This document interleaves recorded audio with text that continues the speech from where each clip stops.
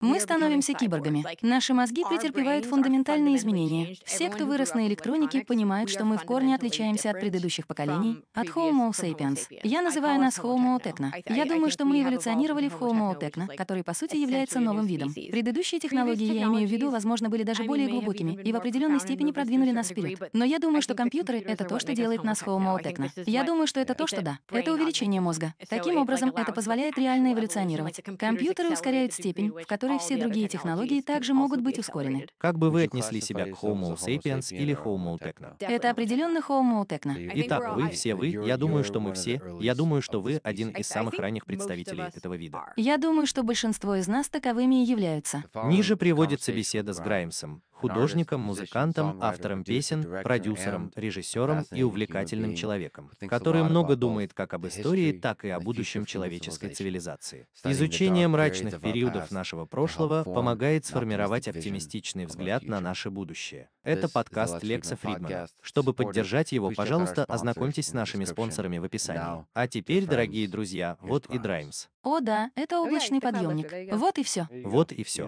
Вы знаете свое дело. Вы когда-нибудь пользовались Cloudlifter? Да, я действительно считаю, что Майкл Джексон использовал именно этот микрофон и Cloudlifter. Нет, правда? Да, это похоже на триллер и все такое. Этот микрофон? Этот микрофон. А как насчет Cloudlifter? И это, да, потрясающий микрофон. Да, он очень хорошо подходит для вокала. Я часто им пользовалась. Он отлично подходит для демо-вокала. Он великолепен в помещении. Иногда бывает проще записать вокал, если ты просто находишься в комнате и играет музыка, и ты просто хочешь почувствовать это. Но это не так, так что это не в комнате. Наушники. А этот микрофон имеет очень хорошую направленность. Так что я думаю, это отличный микрофон для того, чтобы просто излучать вибрацию и получать действительно хороший вокал. Я просто ощущаю вибрацию. Да, просто в комнате. В любом случае, это Майкл, это триллер, это микрофон Майкла Джексона, Куинси Джонса. Теперь я чувствую себя намного круче. Хорошо, давайте приступим. Вы хотите просто погрузиться в это? Я думаю, что да. Хорошо, одно из ваших имен, по крайней мере в этом пространстве и времени, звучит как S, как буква S. И вы сказали мне, что S означает множество вещей. Это скорость света. Это скорость визуализации Вселенной. По-испански это означает «да». Это полумесяц. И так уж случилось, что это мой любимый язык программирования, потому что он, по сути, управляет миром,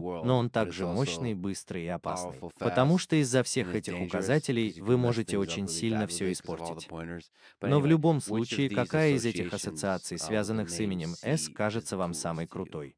Я имею в виду, что для меня, очевидно, самое крутое — это скорость света. Или скорость света. Когда я говорю о скорости Вселенной, я думаю, что имею в виду скорость света. Да, потому что, по сути, именно с такой скоростью мы выполняем рендеринг. Видите ли, я думаю, что мы узнаем, находимся ли мы в симуляции, если скорость света изменится. Потому что если они смогут улучшить скорость рендеринга, то... Что же, это уже довольно хорошо. Это уже довольно хорошо. Но если это улучшится, тогда мы, вероятно, сможем сказать, хорошо, они обновили или модернизировали. Ну что же для нас, людей, это происходит достаточно быстро, потому что кажется, что это происходит мгновенно. Никаких задержек нет. Нет никаких задержек с точки зрения взаимодействия с вещами, как у нас, людей на Земле. Но если вы относитесь к межгалактическим видам, действующим в гораздо большем масштабе, то вы начнете замечать некоторые странные вещи. Или если вы можете работать внутри или вокруг черной дыры, тогда вы начнете замечать некоторые проблемы с визуализацией. Быстрее скорости света, верно? Таким образом, это действительно ограничивает наши возможности или способность человека путешествовать в космосе. Теоретически вы можете это сделать. У вас есть червоточины. Итак, я считаю, что в общей теории относительности нет ничего, что исключало бы движение быстрее скорости света. Но мне просто кажется, что вам придется делать какие-то действительно обалденные вещи, с очень тяжелыми вещами, которые имеют странности, которые, по сути, разрывают пространство-время. Мы не знаем, как это сделать. А штурманы знают, как это делается? А есть ли навигаторы? Да, да. Складывание пространства — это, по сути, создание червячных нор. Итак, имя С, да. Кто вы такой? Считаете ли вы себя человеком, состоящим из нескольких человек? Являетесь ли вы одним человеком? Знаете ли вы, были ли вы сегодня утром другим человеком, чем сегодня вечером? Я бы сказал, что мы записываем это в основном в полночь, и это потрясающе. Да, большое вам спасибо. По-моему, я опоздала примерно на 8 часов. Нет, вы пришли как раз вовремя. Доброе утро. Скоро начнется новый день. В любом случае, являетесь ли вы тем же человеком, что и утром и вечером? Как вы думаете, есть ли там несколько человек? Считаете ли вы себя одним человеком? Или, может быть, вы понятия не имеете? Не являетесь ли вы просто гигантской загадкой для самого себя? Хорошо, это действительно сложные вопросы. Но давайте начнем. Давайте начнем. Потому что я сам задал себе этот вопрос, посмотрев в зеркало. Кто вы такой? Люди говорят вам просто быть самим собой, но что это вообще значит? Я имею в виду, что, по-моему, моя личность меняется с каждым человеком, с которым я общаюсь. Да, у меня очень противоречивый характер лично к человеку. И так в результате взаимодействия материализуется ваша личность или мое настроение. Я превращусь из человека, страдающего манией величия, в абсолютного отшельника, который очень застенчив. Итак, существует некая комбинаторная комбинация вашего настроения и человека, с которым вы взаимодействуете. Да, настроение и люди, с которыми я общаюсь. Но я думаю, что все такие. Может быть и нет. Ну что же, не все признают это и способны к самоанализу. Кто выявляет в вас лучшее, что вы за человек, в каком настроении проявляете себя, как художник и как человек. Можете ли вы проанализировать это самоанализом? Как и мои лучшие друзья, как и мои близкие люди, я могу, когда я очень уверена в себе, и я знаю, что они поймут все, что я скажу. В таком случае, как и мои лучшие друзья, когда я начинаю быть по-настоящему забавной, это всегда мой пиковый режим. Но для того, чтобы достичь этого, требуется много усилий. Давайте поговорим об ограничениях. Вы уже говорили об ограничениях и ограничениях. А, Помогают ли они вам как художнику или как человеку, или же они мешают? Вам нравятся эти ограничения? Итак, в создании музыки, в создании искусства, в жизни, нравятся ли вам ограничения, которые накладывает на вас этот мир? Или вы их ненавидите? Если вы двигаетесь вперед, значит, у вас все в порядке, не так ли? Это похоже на то, что по мере развития технологий мы меняем ограничения, связанные с художественным творчеством. Um, Создание видео, музыки и прочего становится намного дешевле. Постоянно появляются новые технологии и программное обеспечение, которые делают это быстрее и проще. У нас гораздо больше свободы, чем было в 70-х годах. Например, когда Майкл Джексон, вы знаете, записывал триллер с этим микрофоном, им приходилось использовать микшерный пульт и все такое прочее. И, возможно, даже аренда студии обходится очень дорого. И вы должны быть действительно хорошим певцом. И вы должны знать, как пользоваться микшерным пультом и всем прочим. А теперь я могу просто записать целый альбом на этом компьютере. У меня гораздо больше свободы, но в то же время я по-разному ограничена, потому что есть буквально миллионы других художников. Это похоже на гораздо более широкое игровое поле. Это просто похоже на то, что я тоже не училась музыке. Я не прирожденный музыкант, так что я ничего не смыслю в настоящей музыке. Я просто разбираюсь в компьютерах. Так что я действительно просто играю и пробую разные вещи messing around and ну да, я имею в виду, что природа музыки меняется. То есть вы утверждаете, что не разбираетесь в настоящей музыке. Ну что же, музыка меняется. Музыка становится. Вы уже говорили об этом. Она становится. Она как бы сливается с технологиями. Да. Это становится чем-то большим, чем просто ноты на пианино. Это становится какой-то странной композицией, требующей инженерных навыков, навыков программирования, каких-то навыков взаимодействия человека с роботом. И все же кое-что из того, что было у Майкла Джексона, а именно хороший слух. Или хорошее чувство вкуса, понимание того, что хорошо, а что нет. Конечная цель, когда все собрано воедино. Как будто вам позволено, у вас есть доступ, возможность с помощью ноутбука накладывать слои материала, начинать накладывать безумное количество слоев материала. И это очень просто сделать. Я действительно считаю, что музыкальное продюсирование — это действительно недооцененный вид искусства. У меня такое чувство, что люди действительно не ценят его по достоинству. Когда я смотрю на издательские расколы, на то, как люди, например, платят продюсерам и все такое, это просто супер. Как будто продюсеров просто сильно недооценивают. Например, так много песен, которые популярны прямо сейчас или за последние 20 лет. Отчасти потому, что они популярны потому, что постановка действительно интересная или действительно больная или действительно крутая. Я не думаю, что слушатели на самом деле понимают, что такое продюсирование музыки. what music production is. Это не так. Это что-то вроде этого странного беспорядочного вида искусства.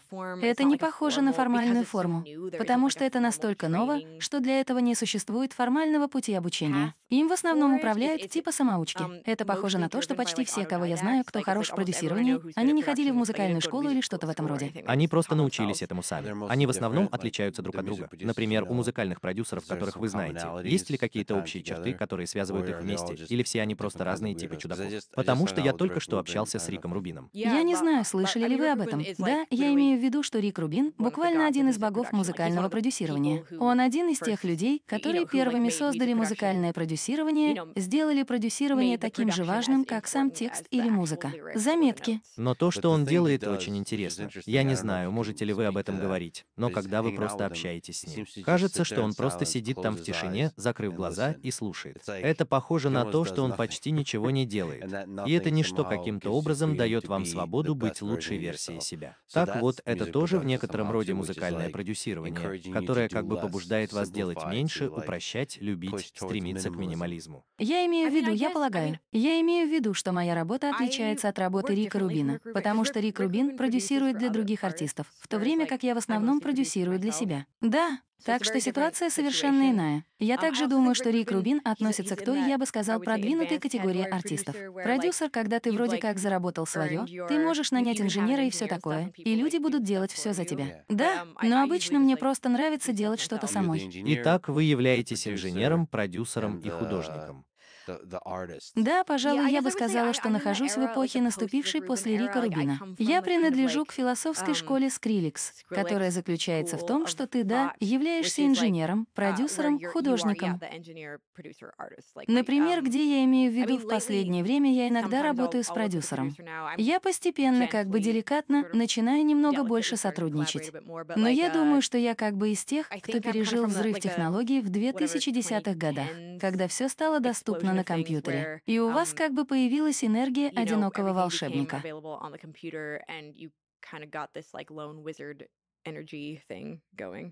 Итак, вы принимаете одиночество как должное. Является ли одиночество каким-то образом двигателем творчества? Например, получается, что большая часть ваших работ, большая часть ваших творческих цитат, без кавычек «гениальность», находится в уединении вашего собственного разума? Да, так оно и было.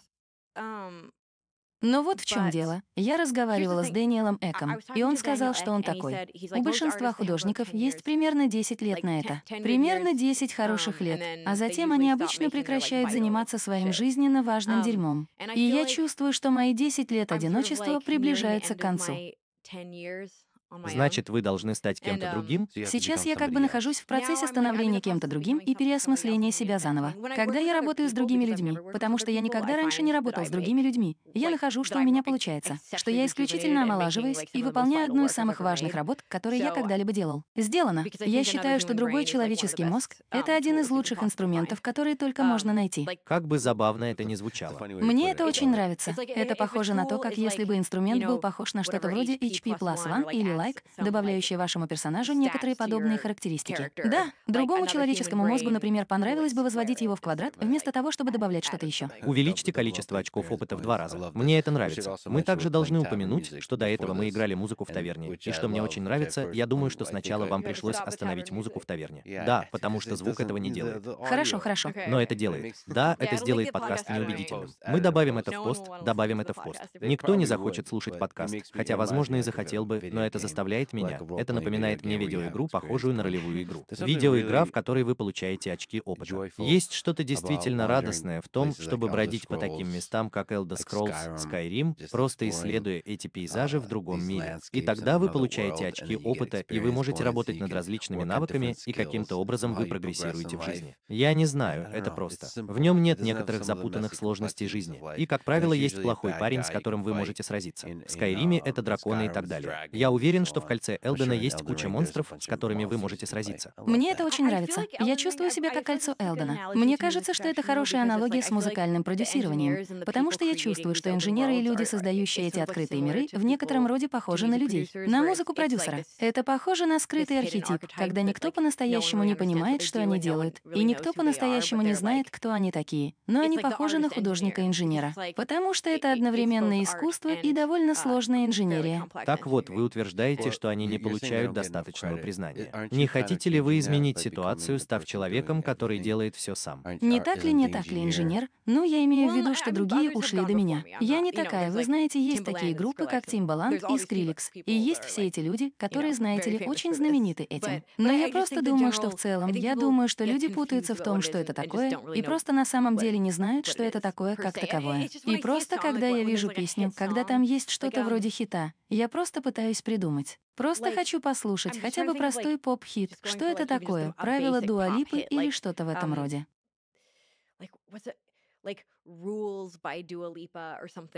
Постановка этого фильма на самом деле просто сумасшедшая. Я имею в виду, что песня тоже великолепна, но постановка исключительно запоминающаяся. Я даже не знаю, кто спродюсировал эту песню. Это просто не входит в риторику, в то, как мы обсуждаем создание искусства. Мы просто не обращаем внимания на музыкального продюсера. Потому что я думаю, что раньше музыкальный продюсер был чем-то большим, просто записывал что-то. Да, это интересно, потому что, когда вы думаете о фильмах, мы говорим не только об актере и актрисах, но и режиссере. Режиссеры, да. Мы не так часто говорим о подобных вещах в музыке или... Музыкальный продюсер The Beatles был одним из первых, кто внедрил в поп-музыку безумный саунд-дизайн. Я забыла его имя. У него то же самое. Я забыла его имя. Но знаете, он делал всякие странные вещи. Например, ронял пианино и типа «да». О, чтобы получить ответ «да», «да», «да». Чтобы получить звук, чтобы получить подлинное звучание. А как насчет текстов песен? Как вы думаете, как они вписываются в то, насколько они важны?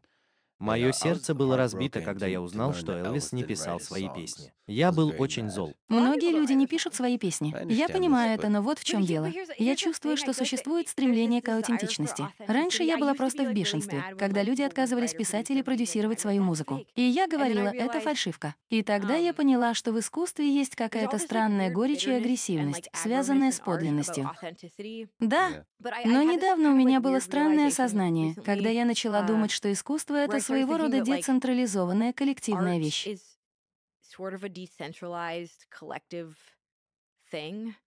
Искусство — это своего рода диалог со всеми художниками, которые когда-либо жили до вас. Да. Это похоже на то, что вы действительно просто как бы заново изобретаете велосипед. Это похоже на то, что вы просто берете тысячелетний опыт искусства и как бы прогоняете его по своему собственному маленькому um, алгоритму, а затем как бы создаете свой собственный. Ваша интерпретация этого. Вы просто присоединяетесь к разговору со всеми другими артистами, которые были здесь раньше. Это такой прекрасный способ взглянуть на это с другой стороны. У меня такое чувство, что все постоянно думают о том, что всегда существует авторское право, интеллектуальная собственность, то-то и то-то или подлинность. И я просто думаю, что нам нужно перестать воспринимать это как эгоистичную вещь. О, творческий гений, одинокий творческий гений, или то, или это. Потому что я думаю, что искусство не должно быть связано с этим. Я думаю, что искусство — это нечто такое, что объединяет человечество. Кроме того, искусство — это своего рода коллективная память людей. Это похоже на то, что нам наплевать на Древний Египет сколько зерна было отправлено в тот день, и на отправку записей, и на то, кто куда отправился, и сколько щитов нужно было изготовить для этого. Мы просто помним их искусство. И это похоже на то, что в нашей повседневной жизни есть все эти вещи, которые кажутся более важными, чем искусство, um, потому что они помогают нам функционировать и выживать. Но когда все это исчезнет, единственное, что действительно останется, это искусство. Технология устареет. Это так увлекательно. Похоже, что люди будут мертвы. Это правда. Хорошее представление об истории человечества — это искусство, которое мы создавали на протяжении разных веков и тысячелетий. Итак, когда появятся инопланетяне? Когда прилетят инопланетяне, они найдут иероглифы и пирамиды. Я имею в виду, что искусство можно определить в широком смысле. Они могли бы найти такие инженерные чудеса, как мосты, ракеты. Хотя, думаю, я как-то классифицирую архитектуру как искусство, чтобы ответить «да». Я, безусловно, считаю разработку в этих форматах искусством. Это полный отстой, что цифровое искусство легче удалить. Так что если случится апокалипсис или ядерная война, оно может исчезнуть. Да, что касается физического проявления искусства, то в нем все еще есть что-то ценное. Это отстой, что, например, музыку должен кто-то исполнять или что-то в этом роде. Да, я имею в виду, я действительно думаю, что у нас должна быть ситуация фундаментального типа, когда нам нравится. Вы знаете, у нас на севере есть что-то вроде банков семян и все такое. Да, нам, наверное, следовало бы построить небольшой бункер, работающий на солнечной энергии или геотермальной энергии, в котором были бы собраны все человеческие знания. Вы упомянули Дэниела Эка и Spotify. Что вы думаете об этом как художник? Что такое Spotify? Вдохновляет ли это вас? Как по мне, Spotify как потребитель — это очень захватывающе. Он позволяет мне легко получать доступ к музыке самых разных исполнителей, изучать все виды музыки, создавать собственные плейлисты и получать от всего этого удовольствие. Это было так здорово отпустить все это. Вы знаете, раньше я коллекционировал альбомы, компакт-диски и так далее. Я просто копил альбомы. Да, как будто они что-то значат. Да, но реальность такова, что вы можете это сделать. И это действительно освободило меня от всего этого. Отказ от альбомов, которые вы как бы коллекционируете, позволяет вам находить новую музыку, знакомиться с новыми исполнителями и все такое прочее. Но я знаю, что с точки зрения артиста это может быть, как вы упомянули, конкуренция может быть своего рода ограничением, потому что на платформе появляется все больше и больше артистов. Я думаю, будет лучше, если здесь будет больше артистов. Я имею в виду, опять же, это может быть пропаганда, потому что все это взято из разговора с Дэниелом Эком. Так что это вполне может быть пропагандой. Сделайте это. Мы все являемся жертвами чьей-то пропаганды, так что давайте просто примем это. Да. Но Дэниел Эк рассказывал мне, что когда я встретила его, я пришла в ярость из-за Spotify и устроила ему очень жесткий допрос. Так что здесь у меня есть его ответы. Но он говорил, что на пике развития индустрии компакт-дисков было около 20 тысяч артистов, которые зарабатывали миллионы долларов. Это был всего лишь крошечный 1%. И Spotify в некотором роде демократизировал индустрию, потому что сейчас, по-моему, он сказал, что около миллиона артистов хорошо зарабатывают на Spotify. Да. И когда я услышал это, я подумал, честно говоря, я бы предпочел зарабатывать меньше денег и иметь хотя бы приличный сервис. Жить чем и иметь больше артистов, способных иметь это.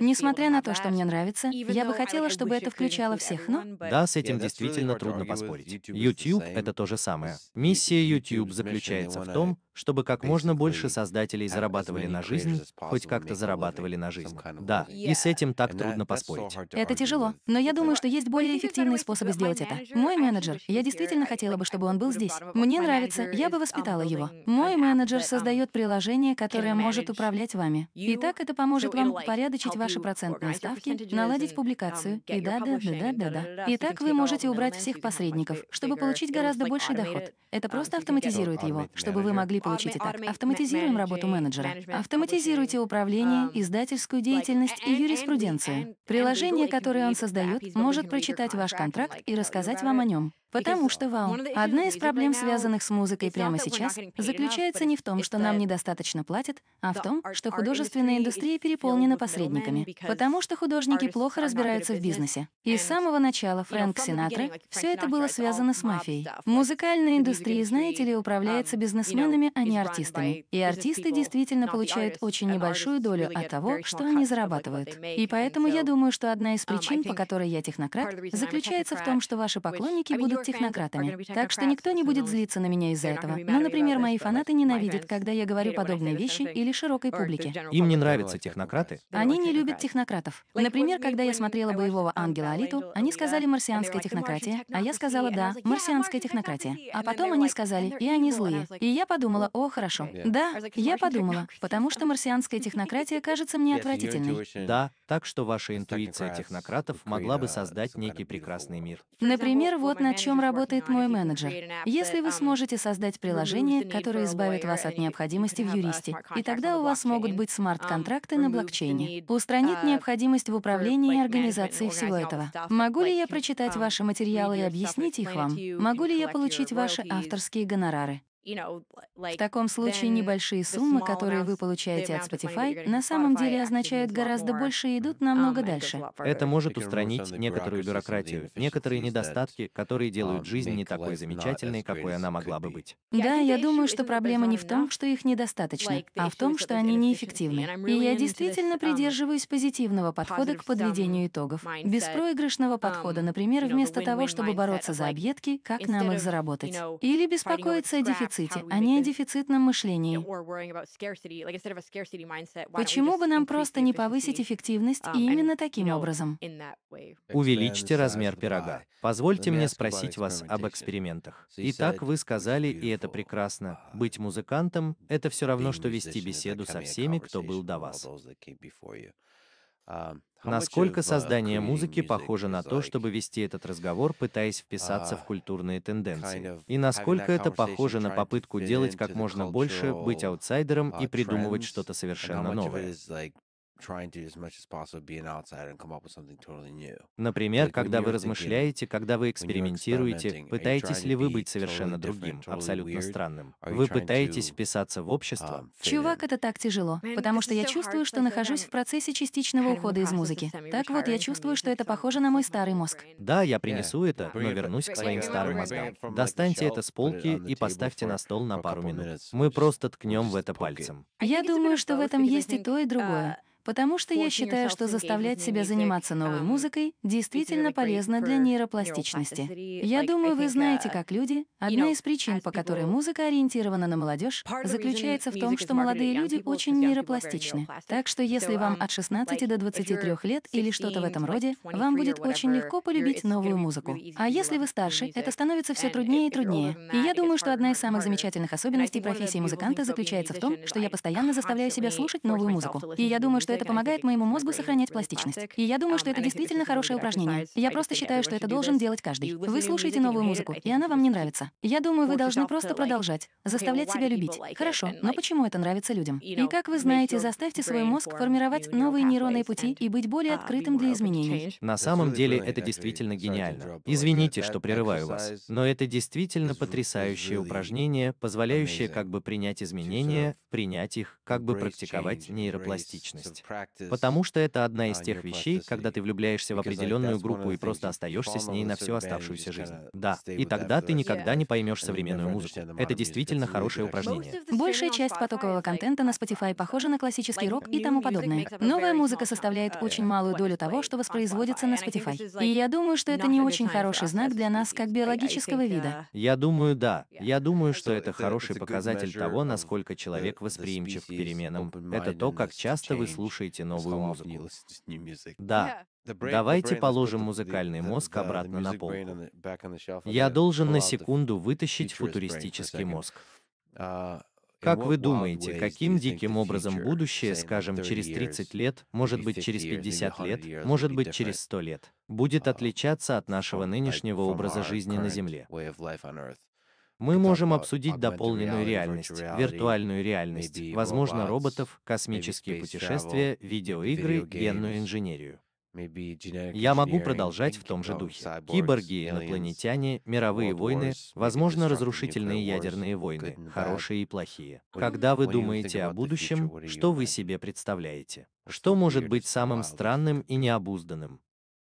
Вы читали поверхностные детали Иэна Бэнкса? Поверхностные детали — а, это мое любимое изображение. О, вау! Вы должны прочитать эту книгу. Это буквально величайшая научно-фантастическая книга, возможно, когда-либо написанная Иэном Бэнксом. Да, это точно. Когда-либо писала. Подождите, что вы прочитали? А, Просто игрок в игры. Я читала, что названия не защищены авторским правом, так что вы можете просто украсть их. И я подумала, игрок в игры, я больна. Очень мило. Да, так что вы могли бы назвать свой альбом, как я всегда хотела, «Ромео и Джульетта» или что-то в этом роде. Я всегда хотела назвать альбом «Война и мир». Это очень мило. Это было бы похоже на то, что вы — это хорошо. Это хорошо, где я слышал это раньше. Вы можете это сделать. Вы могли бы это сделать. А также то, что является общественным достоянием. Для тех, кто понятия не имеет, у вас действительно есть песня под названием «Игрок в игры». Да, а да. Итак, поверхностная детализация Элина Бэнкса — это, на мой взгляд, лучшее будущее, о котором я когда-либо читала или слышала в научной фантастике. По сути, существует взаимосвязь с суперинтеллектом, таким как искусственный суперинтеллект. Это просто здорово.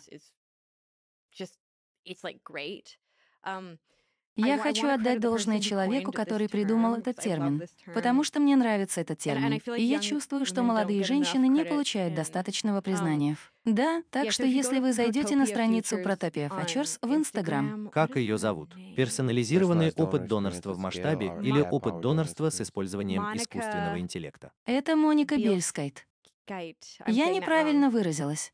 И я, вероятно, собираюсь. Я, вероятно, немного преувеличиваю. Но протопия — что-то вроде. Если утопия недостижима, то протопия — это что-то вроде Вау, это потрясающий Инстаграм про Топия Фачерс. У нас прекрасное будущее, настолько хорошее, насколько это возможно. Будущее — позитивный искусственный интеллект будущего. Это централизованный искусственный интеллект в поверхностных деталях? Или он распределен? Что это за искусственный интеллект? В основном они существуют в виде гигантских суперкораблей, вроде кораблей гильдии в Дюне. Это такие гигантские корабли, которые как бы перемещают людей. И эти корабли обладают разумом, и они могут разговаривать со всеми пассажирами. И я имею в виду, что в будущем Бэнксиан будет много различных типов искусственного интеллекта. Но во вступительной сцене фильма «Поверхностные детали» есть место под названием «Культура», и культура, по сути, представляет собой протопоповское будущее. И я думаю, что протопопическое будущее — это такое будущее, которое, очевидно, не является утопией, оно не идеально. И, например, потому что стремление к утопии, я думаю, кажется безнадежным. И, возможно, это не лучшая терминология для использования. Так что, похоже, это довольно хорошее место. По большей части, сверхразум и биологические существа сосуществуют в полной гармонии. Войн не так уж много. Насколько вы можете приблизиться к равенству? У нас примерно хорошее будущее. Там действительно потрясающие вещи. В первой сцене эта девушка рождена как сексуальная рабыня вне культуры. Таким образом, она живет в обществе, которое не придерживается культурных ценностей. Она пытается убить парня, который является ее хозяином, но он убивает ее. Но однажды, когда она без ее ведома путешествовала с ним на корабле по культуре, корабль вставил ей в голову нейронный шнурок. Нейронное кружево — это что-то вроде нейронной связи, потому что жизнь имитирует искусство. Это действительно так. Это действительно так. И так она просыпается. И первая сцена заключается в том, что ее память была загружена этим нейронным шнуром, когда она была убита, и теперь ей предстоит выбрать новое тело. И этот искусственный интеллект взаимодействует с ее записанной памятью, с ее нейронным кружевом, помогает ей и говорит, «Привет, ты мертва. Но поскольку у тебя было нейронное кружево, твоя память загружена. Значит, ты хочешь выбрать себе новое тело, и ты собираешься родиться здесь, в этой культуре, и начать новую жизнь. Это просто открытие. Я чувствую себя таким больным. А корабль — это сверхразум? Все корабли являются своего рода сверхразумами. Но они по-прежнему хотят сохранить богатый, приносящий удовлетворение опыт для людей. Да, они как бы дружат с людьми. Кроме того, есть куча кораблей, которые не хотят сосуществовать с биологическими существами, но у них просто есть свое собственное место. Например, вон там. Но они этого не делают. Они просто занимаются своими делами. Они не обязательно. Значит, это довольно милое протопопическое существование, довольно мирное. Да, я имею в виду, что, например, одна из главных битв в книге заключается в том, что они борются за создание искусственного ада. И люди считают, что это неэтично — создавать искусственный ад. По сути, когда люди совершают преступления, их отправляют в ад, а когда они умирают, их память отправляется в искусственный ад, где они подвергаются вечным пыткам. И вот и еще один способ, которым общество решает, устраивать искусственный ад или нет, заключается в том, что они устраивают эти симуляции. Они устраивают что-то вроде симулированной войны. Таким образом, вместо того, чтобы проливать настоящую кровь, люди, по сути, сражаются в видеоигре, чтобы выбрать исход этой битвы. Но они все еще испытывают страдания. Подождите, в этом искусственном аду или нет? Вы можете испытывать что-то подобное или нет? Итак, искусственный ад — это полный отстой. И многие представители культуры хотят избавиться от искусственного ада. Это имитация войн. Они происходят в искусственном аду? Так что, так что нет. Имитируемые войны происходят за пределами искусственного ада. О, я поняла. Между политическими группировками, которые являются. Так вот, эта политическая фракция говорит, что мы должны были симулировать ад, чтобы сдерживать преступность. И эта политическая фракция говорит, нет, стимулированный ад — это это неэтично. Таким образом, вместо того, чтобы взрывать друг друга ядерными зарядами, они устраивают что-то вроде гигантской битвы в стиле Fortnite. Да, чтобы решить этот вопрос. На мой взгляд, это и есть протопия.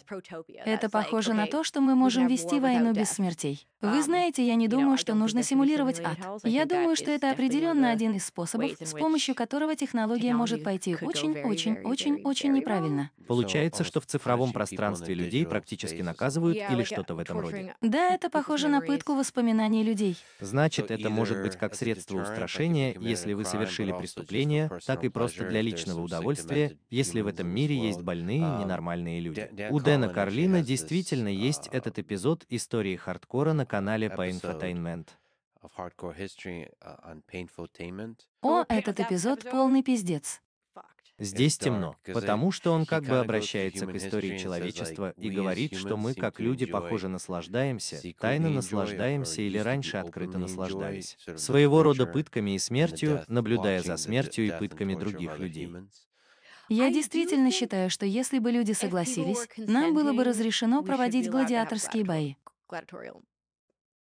Но в таких ситуациях трудно добиться согласия. Ситуация всегда становится скользкой. Это может быть и вынужденное согласие, и это начинает казаться странным. Да, я вас понимаю. Здесь слишком много волнений. Похоже, именно это он выделяет особо. В природе человека есть что-то такое, что заставляет его видеть это насилие. И это действительно мрачно. И вы надеетесь, что мы сможем преодолеть этот аспект человеческой натуры, но он все еще где-то внутри нас. Что же, я думаю, именно этим мы сейчас и занимаемся. У меня есть теория, согласно которой в настоящий момент очень важно то, что вся эволюция до сих пор сводилась к выживанию наиболее приспособленных. И в какой-то момент, вы знаете, границы становятся немного размытыми, но в недавнем прошлом, или, может быть, даже прямо сейчас, мы подходим к тому моменту, когда можем выбрать разумный дизайн.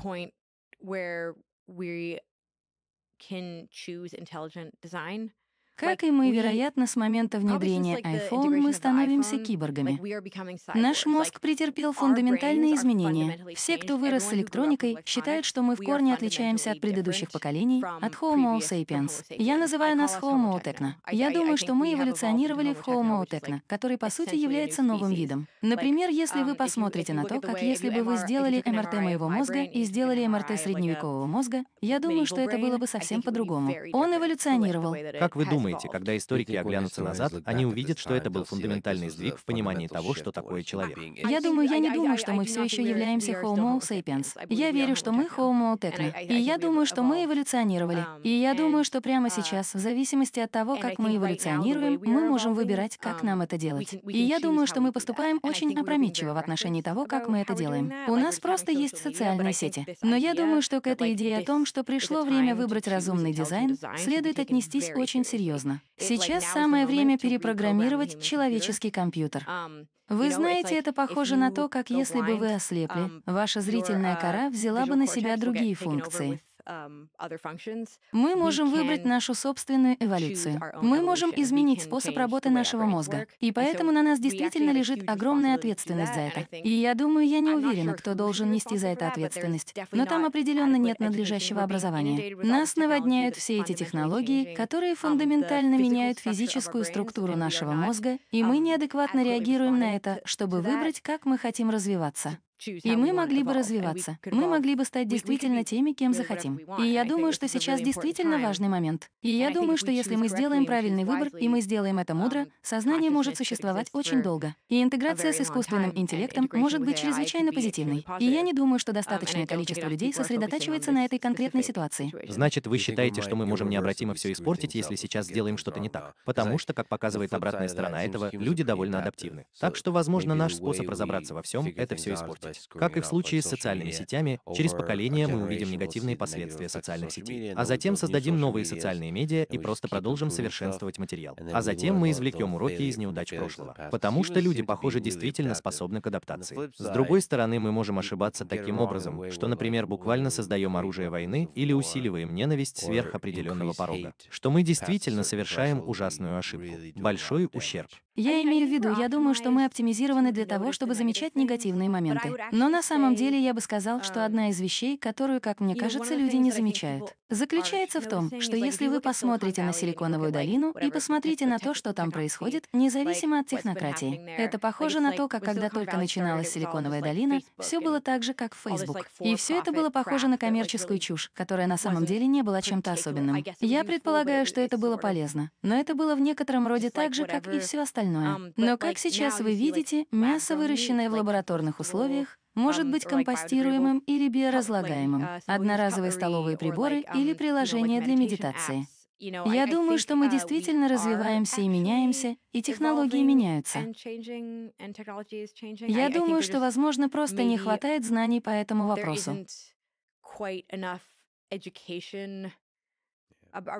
И кроме того, я не знаю, есть ли достаточный стимул для этого. Поскольку я думаю, что то, как работает капитализм, um, то, что мы определяем как прибыль, мы также работаем над старой моделью того, что мы определяли как прибыль. Я действительно думаю, что если бы мы изменили идею прибыли, um, включив в нее социальное благо, вы могли бы получить экономическую прибыль. Социальное благо также учитываемое как прибыль. Это стимулировало бы более полезные вещи и более продвинутые духовные технологии. Или, например, позитивные технологии um, или вещи, которые помогают перепрограммировать человеческий компьютер компьютер в лучшую сторону. Или вещи, которые помогают нам разумно проектировать наш новый мозг. Да, нет никаких причин, по которым в рамках капитализма слово «прибыль» или идея прибыли не могут также включать в себя благополучие человека.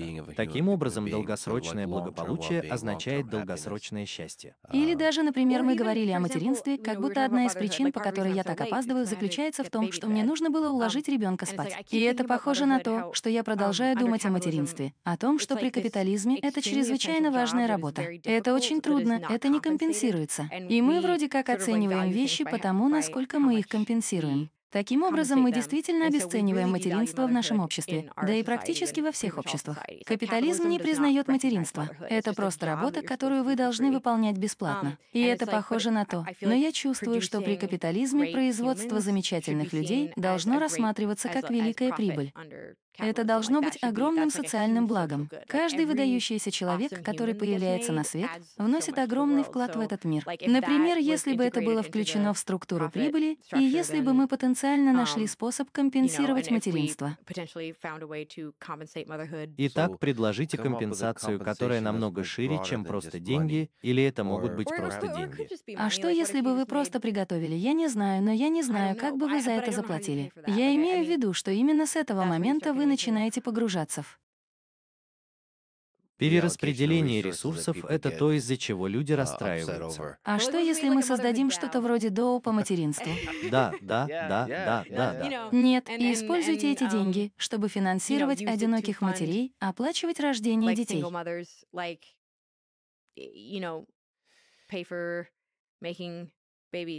Я имею в виду, что если вы создаете и распространяете в мире прекрасные вещи, то это могут быть компании, мосты, искусство и многое другое. И это могут быть дети, которые получают или образование, или все, что должно быть оценено обществом. И это должно быть каким-то образом включено в рамки того, что как рынок, что если вы привносите детей в этот мир, это должно цениться, уважаться, и это своего рода праздник, пропорциональный тому, что это такое, а именно тому, что питает человеческую цивилизацию. Да, как и я, это в некотором роде важно. У меня такое чувство, что все постоянно говорят. Я имею в виду, я думаю, что мы находимся в очень разных социальных сферах, но все всегда говорят, демонтируйте капитализм. И я такая, ну хорошо, ну я не думаю, что правительство должно владеть всем. Я не думаю, что у нас не должно быть частной собственности. Это пугает, это приводит к странным вещам. И я чувствую, что без полицейского государства это практически невозможно сделать. Да, но, очевидно, у капитализма есть некоторые серьезные недостатки. И я думаю, что на самом деле Мак показал мне эту идею, называемую социальным капитализмом, который представляет собой форму капитализма, которая точно так же рассматривает социальное благо как прибыль. Прямо сейчас компании должны расти каждый квартал или что-то в этом роде, чтобы показать, что ты хорошо функционируешь. Но это звучит так. Хорошо. А что, если бы вы сохранили тот же объем прибыли, вы все еще были бы в плюсе. Но в то же время у вас есть все эти социальные блага. Например, действительно ли вам нужен весь этот дополнительный экономический рост? Или вы могли бы добавить это социальное благо, и это имеет значение? И я не знаю, могу ли я, я не экономист. У меня нет ни малейшего представления о том, как этого можно достичь. Но я просто не думаю, что экономисты тоже знают, как чего-то можно достичь. Но они притворяются. Вот в чем дело. Они разрабатывают модель, участвуют в телешоу и выступают как эксперты. Таково таково определение понятия экономист. Как, по вашему мнению, материнство изменило вас как человека? Чувак, я думаю, что это в некотором роде изменило все, и это все еще сильно меняет меня. На самом деле, прямо сейчас, в этот момент, это меняет меня больше, чем раньше. Например, сегодня вот так? Так же, как и в последние месяцы, и все такое. Не могли бы вы объяснить, каким образом, например, когда вы просыпаетесь утром и смотрите на себя, вы снова задаетесь вопросом, кто вы такой? Как бы вы сказали, как вы изменились? Я думаю, что это действительно меняет мои приоритеты. И поначалу я действительно боролась с этим, потому что мне почему-то казалось, что это похоже на провал феминизма или что-то в этом роде. Я чувствовала, что это было бы плохо, если бы мои дети стали значить для меня больше, чем моя работа. А затем, совсем недавно, я начала анализировать эту мысль в себе и пришла к выводу, что это тоже своего рода конструкция. Это похоже на то, что мы просто настолько обесценили материнство в нашей культуре, что я чувствую себя виноватой за то, что забочусь о своих детях больше, чем я сама. Я забочусь о своей работе. Значит, феминизм подразумевает отказ от какой бы то ни было конструкции, в общем, да. Он постоянно ломается. Это похоже на свободу, которая дает вам возможность быть свободными. И это также означает, что, будучи матерью, я проявляю гораздо больше креативности. Я просто не могу поверить в тот огромный рост мозга, который я наблюдаю. Как вы думаете, почему это происходит? Просто потому, что ставки почему-то выше?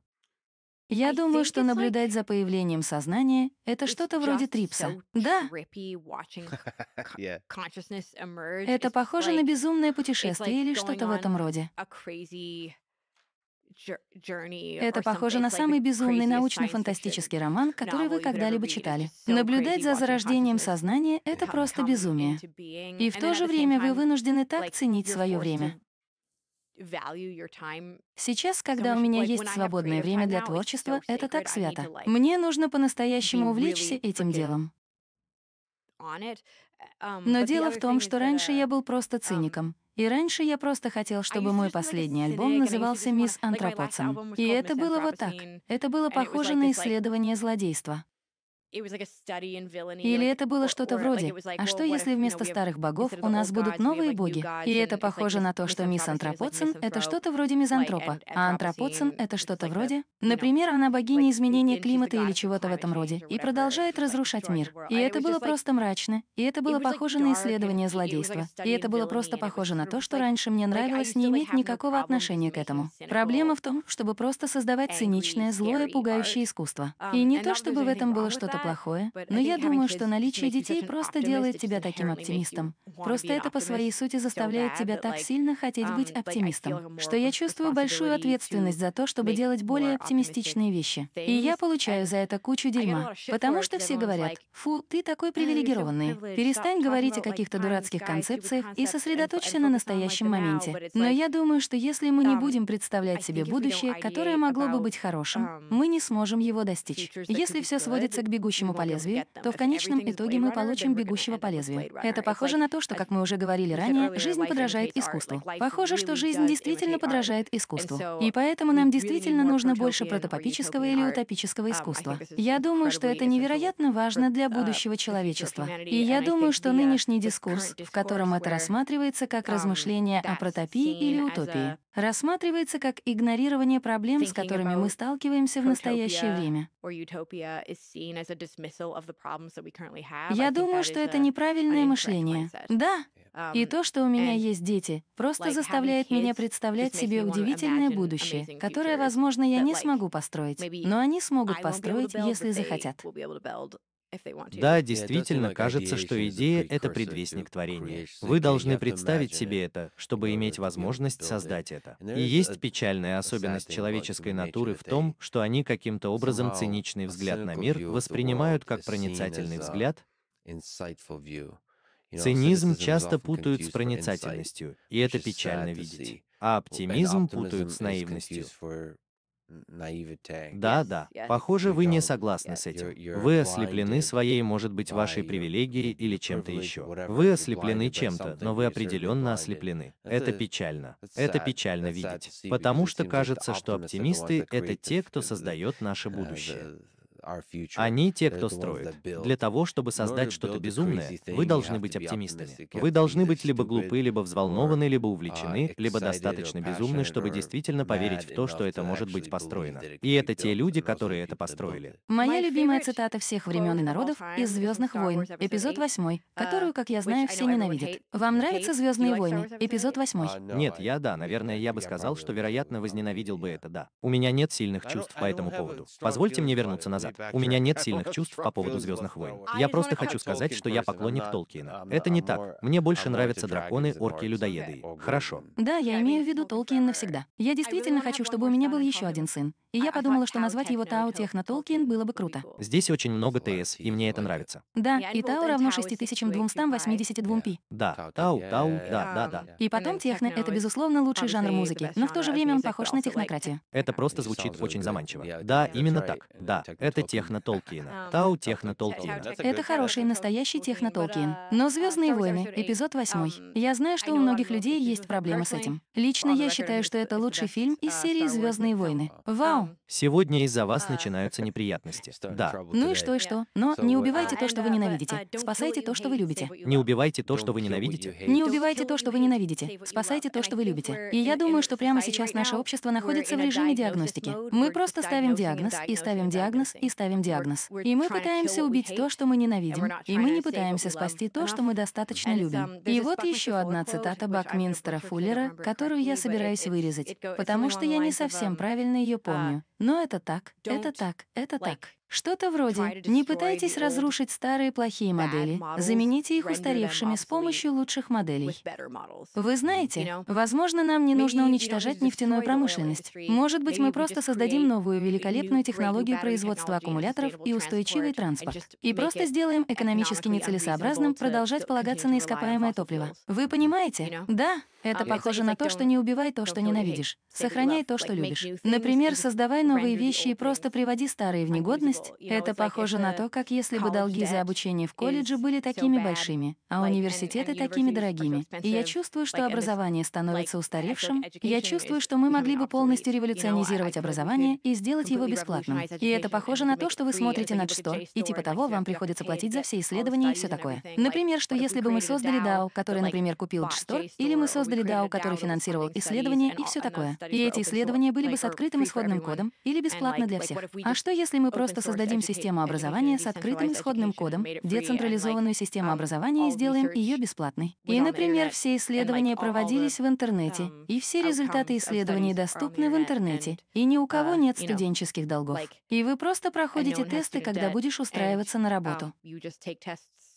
И если у вас есть соответствующая квалификация, то вы можете работать там. Я имею в виду, что это просто полное дерьмо. Нет, я просто не понимаю, как все это работает. Я просто разглагольствую наугад, но... Мне нравится ваша скромность. Вы должны исходить только из основных принципов. Например, в чем проблема? Что сломано? Какие у вас есть идеи? Вот и все. И приходите в восторг от этих идей. И поделитесь своим восторгом. И не раздражайте друг друга. Дело в том, что когда вы убиваете кого-то, вы часто в конечном итоге убиваете себя. Война — это не односторонняя война. Вы не собираетесь просто идти и убивать их. Вы можете получить удар ножом. Это похоже на то, и я думаю, когда я говорю об этом связующем моменте, о том, что мы находимся в той точке в обществе, где мы меняемся местами. Что касается разумного замысла, то я думаю, что частью нашего перехода к разумному замыслу является то, что нам нужно выбрать не насилие. Нам нужно, я думаю, мы можем выбрать, с чего начать.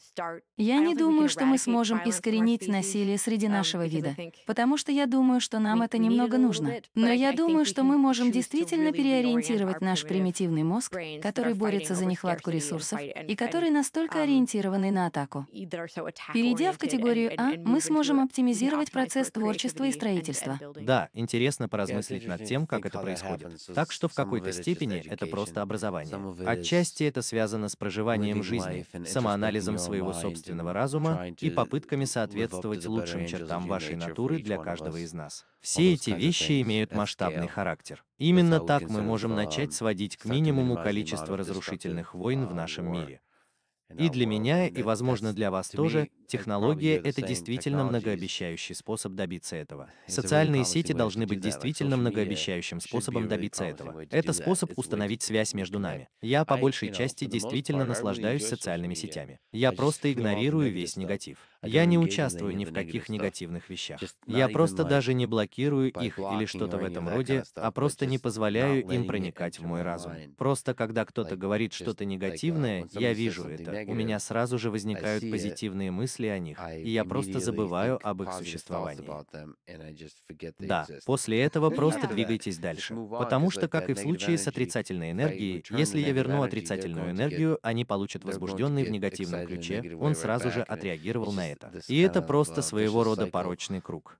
Но вы могли бы подумать, что технологии помогут нам в этом процессе отпустить, не принимать все близко к сердцу, чтобы не привлекать негатив. Но, к сожалению, социальные сети извлекают выгоду из негатива, из существующих моделей. Я имею в виду, что социальные сети — это как оружие. Вам следует пройти курс обучения, прежде чем использовать их. Это действительно так. Вот что я имею в виду, когда говорю «перепрограммируйте человеческий компьютер». В школе вы должны узнать о том, как социальные сети оптимизируют ваш уровень кортизола. Уровни заставляют вас злиться, сходить с ума и испытывать стресс. И, например, вам следует научиться соблюдать гигиену в отношении того, как вы пользуетесь социальными сетями. Но чтобы вы могли, да, выбрать не зацикливаться на негативном материале. Но я не знаю. Я не уверена, что социальные сети должны существовать. Я думаю, они должны существовать. Я не уверена. Я имею в виду, что мы находимся в стадии разработки. Это экспериментальная фаза. Мы как бы работаем над этим. Это только начало. Я даже не знаю, когда вы говорите социальные сети. Я вообще не понимаю, что это значит. Мы находимся в самом начале пути. Я думаю, что социальные сети — это просто элементарная связь между людьми в цифровом мире, и я думаю, что она должна существовать. Но есть так много способов сделать это плохим способом. Есть так много способов сделать это хорошим способом. Мы постоянно обсуждаем одни и те же права человека. Мы говорим о свободе слова. Мы говорим о своего рода насилии в пространстве цифровых медиа. Мы говорим о разжигании ненависти. Мы говорим обо всех этих вещах, с которыми нам приходилось сталкиваться в прошлом, причем в физическом пространстве. А сейчас мы разбираемся в цифровом пространстве. И это похоже на детскую стадию. Когда появился печатный станок, на минуту воцарился настоящий хаос.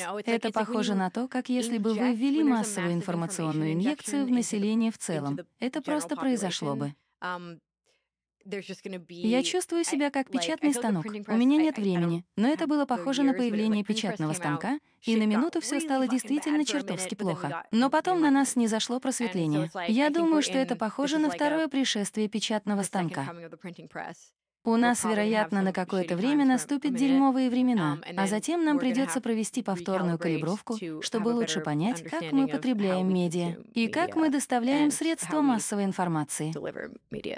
Говоря о программировании человеческого компьютера, вы упомянули о ребенке X. Вау, вот оно, это юное сознание, появившееся из клетки. Это похоже на то, что вся эта штука даже не имеет никакого значения. Она взята из ДНК. Да. А еще есть этот детский компьютер, и он просто растет, растет, растет и растет. А теперь появилось сознательное существо с чрезвычайно впечатляющими когнитивными способностями. Вы с ним встречались? Да, да, да. Да, он действительно очень умен. Он действительно умный, да? Это странно. Да, для ребенка. У него нет. У меня нет, у меня нет. Я не знаю многих других детей, но он кажется очень умным. Я не часто общаюсь с детьми, но этот ребенок произвел на меня очень сильное впечатление. Он часто устраивает розыгрыши и все такое. О, так вот он такой, что может подарить вам лакомство, а потом забрать его и посмеяться и тому подобное. Так вот он похож на шахматиста. Итак, это когнитивный процесс, похожий на программирование компьютера. Он изучает окружающую среду, взаимодействуя с определенным набором людей. Как бы вы отнеслись прежде всего к тому, что это такое, что, позвольте мне спросить, я хочу спросить, как вы программируете этот компьютер. А также, как вы понимаете, что существует сознательное существо прямо там, чего раньше не было.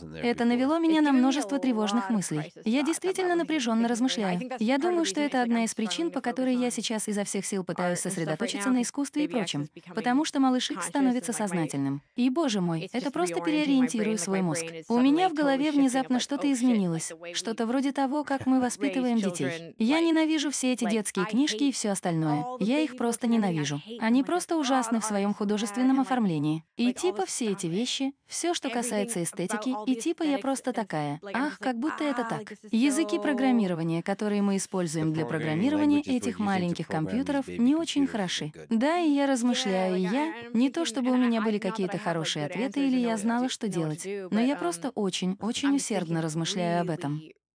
Я, мы недавно смотрели с ним Тотора. Студия Гибли. О, да. Um, и это просто фантастический фильм. И он как бы ответил на это. Я знаю, что вы не должны слишком часто показывать на экранах младенцев, но я думаю, что это самое лучшее. Я чувствую, что это высочайшее искусство, детка. Довольно. Похоже, что он действительно говорит. В нем почти нет разговоров. Это действительно просто. Все диалоги супер-супер-супер просты. И это похоже на то, что ребенку от одного до трех лет может понравиться, по-настоящему проникнуться этим. Такое ощущение, что это почти нацелено на ребенка от одного до трех лет. Um, Но это похоже на великое искусство. В нем так много воображения, и это так красиво. И, например, когда я впервые показал ему это, он был так увлечен этим, в отличие от меня, в отличие от всего, что я когда-либо ему показывал. Он был таким же, как плачущий, когда они плакали, и смеющийся, когда они смеялись, просто как будто у него было это американские горки эмоций. И он выучил кучу слов. Так оно и было. И он начал говорить Тотора. И начал просто повторять все эти вещи после просмотра Тотора. И он хочет смотреть это все время. И я подумала, чувак, почему до сих пор нет индустрии, занимающейся этим? Например, почему наши лучшие художники не сосредотачиваются на создании произведений искусства, способствующих зарождению сознания? Как и я, это одна из тех вещей, о которых я думала, что действительно хочу начать заниматься. Вы знаете, я не хочу говорить до того, как начну делать что-то слишком много. Да. Но мне примерно от одного до трех лет, и мы должны приложить к этому столько усилий. И еще одна особенность Тотора заключается в том, что это как бы лучше для окружающей среды, потому что взрослые любят Тотора. Это настолько хорошее искусство, что оно нравится всем. Например, у меня до сих пор есть все мои старые товары Тотора, оставшиеся с тех времен, когда я был ребенком. Например, у меня в буквальном смысле есть самый потрепанный старый товар Тотора. Он всем нравится, все его хранят. Это похоже на то, почему искусство, которое мы создаем для детей, должно быть отстойным, а затем недоступным для взрослых, а затем просто выброшенным, когда неужели они стареют из-за этого? Я не знаю, что это такое. У меня здесь нет полностью сформированной мысли, но это просто то, о чем я много думал. Например, как нам, как нам создать больше контента в стиле Тотора. Например, как нам получить больше контента, подобного этому, который является универсальным и всем нравится, но при этом действительно ориентирован на формирующееся сознание. Пробуждающееся сознание. В первые три года жизни происходит столько потрясений, столько эволюции разума, что это кажется решающим моментом. Не могли бы вы сказать, чтобы это не было отстойно? Думаете ли вы о том, чтобы в основном относиться к ребенку так, как будто у него есть способность проявлять гениальность взрослого человека или даже больше того? Так вот, как вы относитесь к этому виду мышления или нет? Потому что им все равно нравится, когда вы говорите странные вещи. Похоже, они лучше реагируют на то, что вы говорите. Потому что даже они могут лучше имитировать, когда ваш голос звучит выше. Например, люди говорят, о, не занимайтесь детским лепетом. Но это похоже на то, что когда ваш голос звучит выше, это ближе к тому, чему они могут подражать. Так вот они, как я понимаю. Похоже, детский лепет действительно работает. Похоже, это помогает им научиться общаться. Я обнаружила, что он более эффективен при изучении слов и прочего. Но вы же не говорите, что я не склонен разговаривать с ними свысока. Как будто. Да. Как вы думаете, обладают ли они способностью понимать действительно сложные концепции просто очень сложным и необычным способом? Это похоже на эмоциональный интеллект, связанный с чем-то глубоко внутри. О, да, нет, если X причиняет мне боль. Например, если X сильно кусает меня, и я такая, ой, ему нравится, ему становится грустно. Ему становится грустно, если он случайно причиняет мне боль. Да. Он такой огромный, что случайно причиняет мне сильную боль.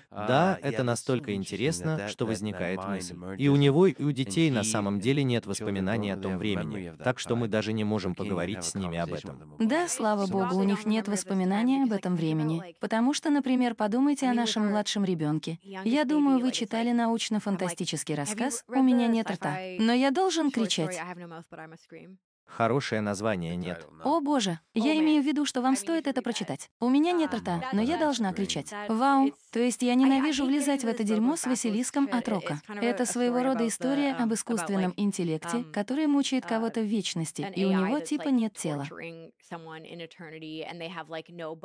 То, как они это описывают, похоже на то, каково это быть ребенком. Вы находитесь в сознании и просто получаете информацию отовсюду. У вас нет мышц, вы похожи на желе и не можете двигаться. Вы пытаетесь общаться, но у вас ничего не получается. И мы и вы находитесь в таком адском состоянии. Я думаю, хорошо, что мы не можем этого помнить. Мой маленький малышо как раз выходит из этого состояния. Похоже, у нее начинают расти мускулы и появляется больше самостоятельности. Но наблюдая за ее вступительным этапом, я подумала, это не кажется мне чем-то хорошим. О, вы думаете, что это похоже на то, что я думаю, что это отстой. Я думаю, что это было бы действительно жестоко. Например, жестоко, ментально жестоко, психологически жестоко. Я думаю, что пробуждение сознания это очень жестокая вещь. Я никогда об этом не задумывался. Я думаю, вполне возможно, что все мы несем в себе довольно много травм, связанных с этим. Но это не так. Я думаю, что это было бы полезно изучить, потому что я думаю, что если бы я обратился к этой травме, я думаю, что это могло бы быть. О, вы имеете в виду, как отголоски этого, они все еще где-то там в тени? Я думаю, что так и должно быть. Я чувствую эту помощь, беспомощность, экзистенциальный смысл. И это похоже на страх оказаться в незнакомом месте, подвергнуться бомбардировке входными сигналами, оказаться совершенно беспомощным. Это должно быть где-то глубоко в вашем мозгу, и это не может быть хорошо для вас. Как вы думаете, что такое сознание? Весь этот разговор содержит невероятно сложные вопросы. Как вы думаете, да, это действительно так сложно?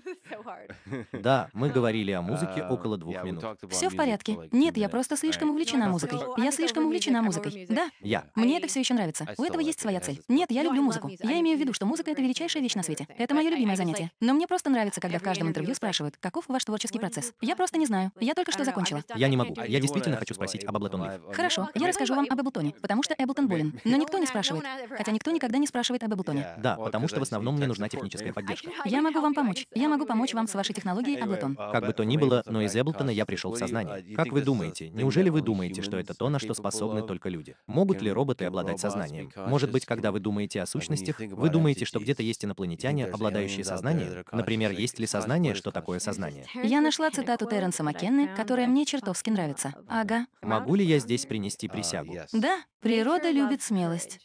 Вы берете на себя обязательства, и природа ответит на это обязательство устранением непреодолимых препятствий. Мечтайте о несбыточной мечте, и мир не раздавит вас. Он поднимет вас ввысь. Вот в чем фокус. Вот что понимали все эти учителя и философы, которые действительно считали, которые действительно прикасались к алхимическому золоту, вот что они понимали. Это шаманский танец у водопада. Вот как совершается магия, когда вы бросаетесь в бездну и обнаруживаете, что это пуховая перина. Да. И по этой причине я действительно считаю, что никаких технологических ограничений не существует. Я думаю, что то, что здесь уже происходит, практически невозможно. Это безумие. И мы сделали это за очень ограниченный промежуток времени. И мы ускоряем темпы, с которыми мы это делаем. Так что я думаю, цифровое сознание или мы сами — это неизбежно. Возможно, мы даже не в состоянии понять, что это значит. Но мне нравится выражение «броситься в пропасть». Итак, мы окружены всей этой тайной, и мы просто продолжаем бесстрашно погружаться в нее и открывать для себя крутые вещи. Да, я просто, я просто думаю, что это похоже на то, что кто-то вообще знает, существуют ли законы физики. Законы физики, вероятно, просто текущие, как я уже говорила. Скорость света — это текущая скорость рендеринга. Это похоже на то, что если мы будем участвовать в симуляции, они смогут улучшить это. Например, я подозреваю, что когда мы создавали телескоп Джеймса Уэбба, отчасти причина, по которой мы это сделали, заключалась в том, что у нас была модернизация. И теперь мы можем видеть больше пространства. Так что теперь мы можем видеть больше. Да, но я думаю, что у людей очень-очень-очень ограниченные когнитивные способности. Итак, мне интересно, будет ли нам позволено создавать больше разумных существ, которые смогут видеть больше Вселенной по мере повышения скорости рендеринга. Возможно, наши когнитивные способности ограничены. Все продолжают говорить о том, что наши когнитивные способности ограничены, и искусственный интеллект сделает нас устаревшими. Но это совсем не то же самое, что превращение амебы в аллигатора. Это похоже на то, что если мы создадим искусственный интеллект, опять же, это будет разумный замысел. Буквально все религии основаны на том, что Бог создает сознание. Мы сами являемся творцами Бога. То, что мы делаем, невероятно глубоко. И даже если мы не умеем вычислять, uh, даже если мы намного хуже их, просто непостижимо хуже, чем всемогущий искусственный интеллект. Это похоже на то, что мы, я не знаю, думаю, что они просто подумают, что мы глупые.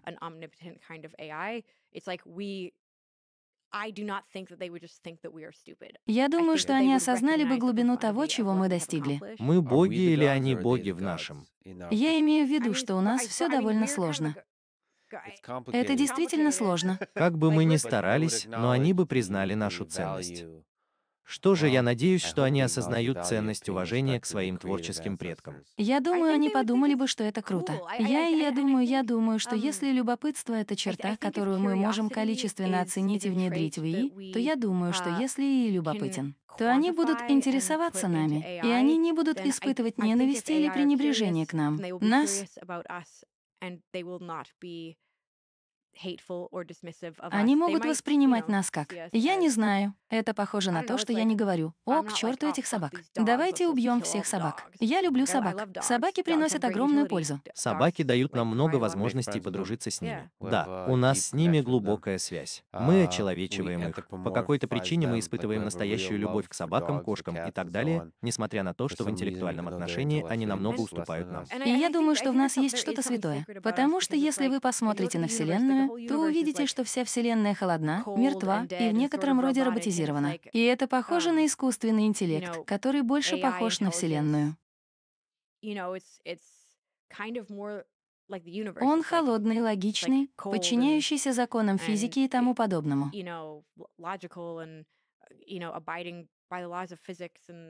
Но нам нравится, что мы похожи на Люси Гуси, странную художественную вещь, которая произошла. И я думаю, что это прекрасно. И, например, я думаю, что даже если мы захотим, я думаю, что одна из ценностей, если сознание — это вещь, которую больше всего стоит сохранить, что я думаю, так обстоит дело. Я думаю с сознанием, я думаю, есть ли в нем что-то похожее на религиозное. Если говорить о духовном аспекте, то должно быть так, что сознание является священным. Как и тогда, я все еще думаю, что даже если искусственный интеллект сделает нас устаревшими, мы изменение климата — это слишком плохо, и в нас попадет комета. И мы не станем достаточно быстрым многопланетным видом. Но как искусственный интеллект способен заселить Вселенную? Я представляю себе, что если бы я работала с искусственным интеллектом, то uh, нашла бы больше планет, на которых могут существовать биологические формы жизни, и воссоздала бы их. Потому что на нас всех интересно смотреть. Да, за нами интересно наблюдать. Да, но я действительно верю, что искусственный интеллект интеллект может обладать той же магией сознания, что и он сам. Потому что мы не знаем, что это такое сознание. Значит, существует какая-то разновидность магии, а может быть и другая. Это может быть что-то вроде странного, непривычного, отличного права. Потому что у них не будет гормонов. Мне кажется, что большая часть нашей магии связана с гормонами. Я не знаю. Я думаю, что часть нашей магии заключается в ограничениях, а также в гормонах и других подобных вещах, связанных с конечностью жизни. И затем, когда нам дают понять о наших ограничениях, мы добираемся до некоторых, находим творческие решения о том, как обойти обойти эти ограничения. Мы объединились как пингвины, борющиеся с холодом. Мы влюбляемся друг в друга. И тогда любовь в конечном счете является чем-то вроде того, что позволяет нам обманывать самих себя, что мы не смертны и не ограничены, и что жизнь не конечна. Ты живешь в одиночестве, ты рождаешься в одиночестве, ты умираешь в одиночестве. И потом любовь — это как мгновение или долгое время, когда забываешь об этом. И вот, например, мы придумываем все эти креативные хаки, которые делают жизнь невероятно увлекательной. Да, да, да, весело, да. И тогда искусственный интеллект мог бы развлекаться по-разному. Да, и я надеюсь, что наши развлечения время от времени пересекаются. Я думаю, что это было бы полезно для вечеринок. Там должен быть небольшой перекресток. Там должно быть небольшое пересечение всего интересного. Да, да. Как вы думаете, какова роль любви в жизни человека? Я спрашиваю, полезна ли она? Полезна ли она как халтура? Или это фундаментально для понимания того, что значит быть человеком? Способность любить?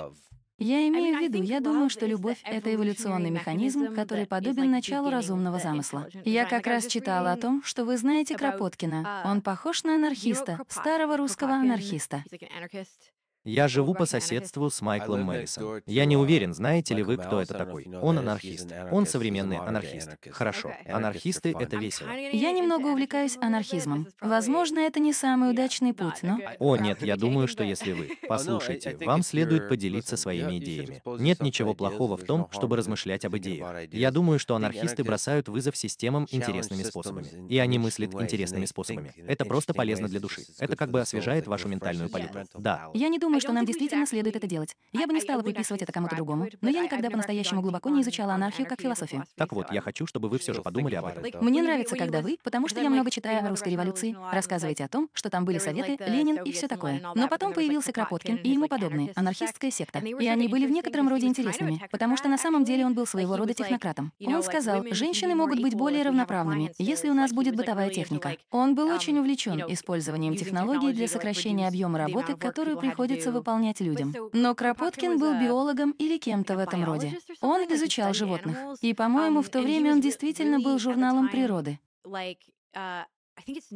Я думаю, что это могло бы даже начаться как что-то вроде русского журнала. Но он был похож на публикацию исследований. В то время все были увлечены дарвинизмом и теорией выживания наиболее приспособленных. Война — это своего рода механизм, с помощью которого мы становимся лучше. И это было похоже на реальное закрепление в обществе идеи о том, что насилие убивает слабых. И именно так мы становимся лучше. А затем Кропоткин был довольно интересным, потому что он рассматривал примеры. Он находил все эти примеры в природе, где животные как бы помогали друг другу и все такое. И он сказал, знаете, на самом деле любовь — это механизм выживания. В животном мире существует множество примеров, когда сотрудничество, помощь более слабым существам и все такое прочее на самом деле является эволюционным механизмом.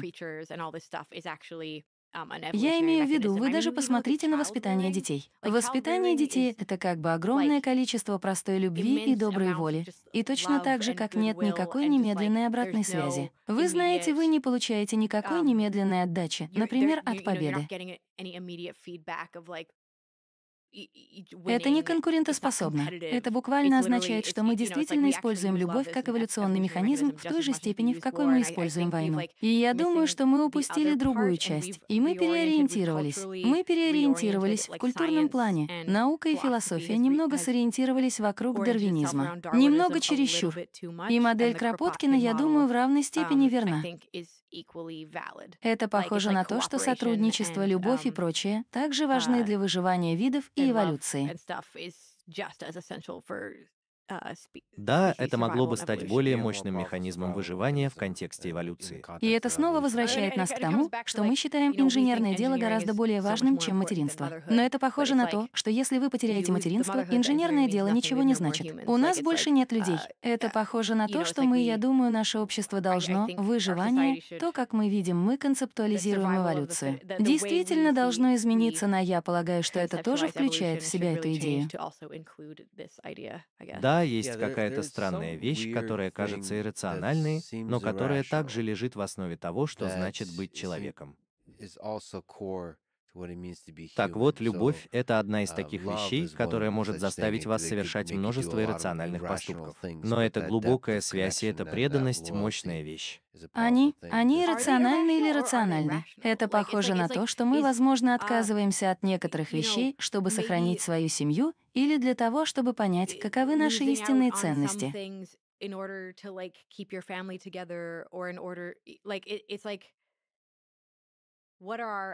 Ну что же хорошо. Я имею в виду, что разумнее всего, если вы придерживаетесь холодной точки зрения экономиста, заниматься материнством или жертвовать своей карьерой ради любви. Если вы оцениваете это с точки зрения заработной платы, с точки зрения экономического благополучия. С точки зрения вашего расцвета как человека, это может быть расценено в некоторых показателях как иррациональное или неоптимальное решение. Но проявление любви может быть оптимальным решением.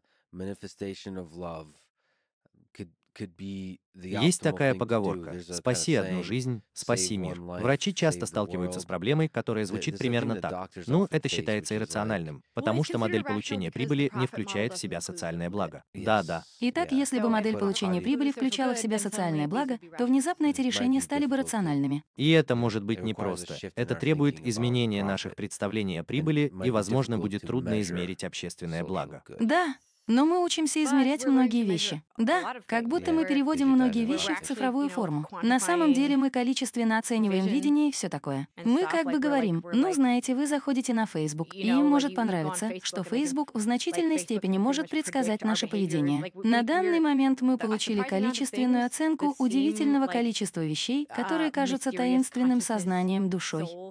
Так что, несомненно, мы можем дать количественную оценку этим другим вещам. Да, но по мере того, как все больше и больше из нас переходит в цифровое пространство, я хотел бы спросить вас кое о чем с точки зрения фанатов. Мне кажется, что у вас, как у музыканта, у вас, как у онлайн-личности, есть все эти особенности, и вы играете с ними. Одна из замечательных особенностей интернета заключается в том, что вы можете играть с индивидуальностями. Итак, по мере того, как мы все больше и больше погружаемся в цифровой мир, возможно, даже в так называемую метавселенную. Я имею в виду, что мне нравится метавселенная, и мне нравится сама идея, но то, как все это разыгралось, пошло не очень хорошо, и люди сходят по этому поводу с ума. И я думаю, я думаю, что нам нужно это сделать, как будто это временно. Я думаю, что это временно. Вы знаете, как все знаменитости собрались вместе и исполнили песню Джона Леннона Imagine, и все начали ненавидеть эту песню Imagine? Я надеюсь, что это временно, потому что это чертовски хорошая песня. Да-да. Так что я думаю, это просто временно. Как только у вас действительно появляются виртуальные миры, как бы они ни назывались, метавселенная или как-то иначе, это становится, я не знаю. Ну что же, у нас действительно есть виртуальные миры. Например, видеоигры «Кольцо Элдена». Вы когда-нибудь играли в «Кольцо Элдена»? Вы еще не играли в «Кольцо Элдена». Я действительно боюсь играть в эту игру. Это в буквальном смысле потрясающе. Это выглядит слишком забавно. Похоже, я бы хотел поехать туда и остаться там навсегда. Да, это так весело. Это так, это так приятно. О боже, да, так что это, да, это метавселенная, это и есть метавселенная. Но на самом деле вы не уверены, насколько это захватывающе, в том смысле, что необходима ли интеграция трехмерности, например, um, виртуальной реальности. Можем ли мы действительно просто взять себя в руки, закрыть глаза и как бы подключиться к 2D-экрану и стать тем другим существом на некоторое время? Провести время и по-настоящему насладиться тем путешествием, в которое мы отправляемся? И мы почти достигли этого. Вы больше не Си, а я больше не Лекс. Вы то самое существо или что-то в этом роде, чтобы это, черт возьми, не значило в этой игре. Да, именно так оно и есть. Я имею в виду, именно поэтому я люблю эти видеоигры. На какое-то время я действительно становлюсь похожим на этих людей. Но, похоже, с идеей метавселенной, идеей цифрового пространства, даже в Твиттере у вас появляется шанс быть кем-то в течение длительного периода времени. Например, на протяжении всей жизни. Вы знаете, у вас есть аккаунт в Твиттере на протяжении многих лет, десятилетий, и вы являетесь этим человеком. Я не уверена, хорошо ли это. Меня это очень мучает. А конкретно в Твиттере? Вы представляете себя в социальных сетях? У меня такое чувство, что общественное восприятие меня стало настолько искаженным, что я нахожу это немного тревожным. Это одна из причин, которая мешает мне продолжать заниматься искусством, потому что я просто полностью потерял контроль над повествованием. И повествование таково, что кое-что из этого моя собственная глупость. Но многое из этого было просто захвачено силами, находящимися вне моего контроля. Да, вы знаете, я в некотором роде зациклился на вещах. Я просто случайный инди-музыкант. Но меня просто втянули в геополитические вопросы. И, например, финансы, фондовый рынок и прочее дерьмо.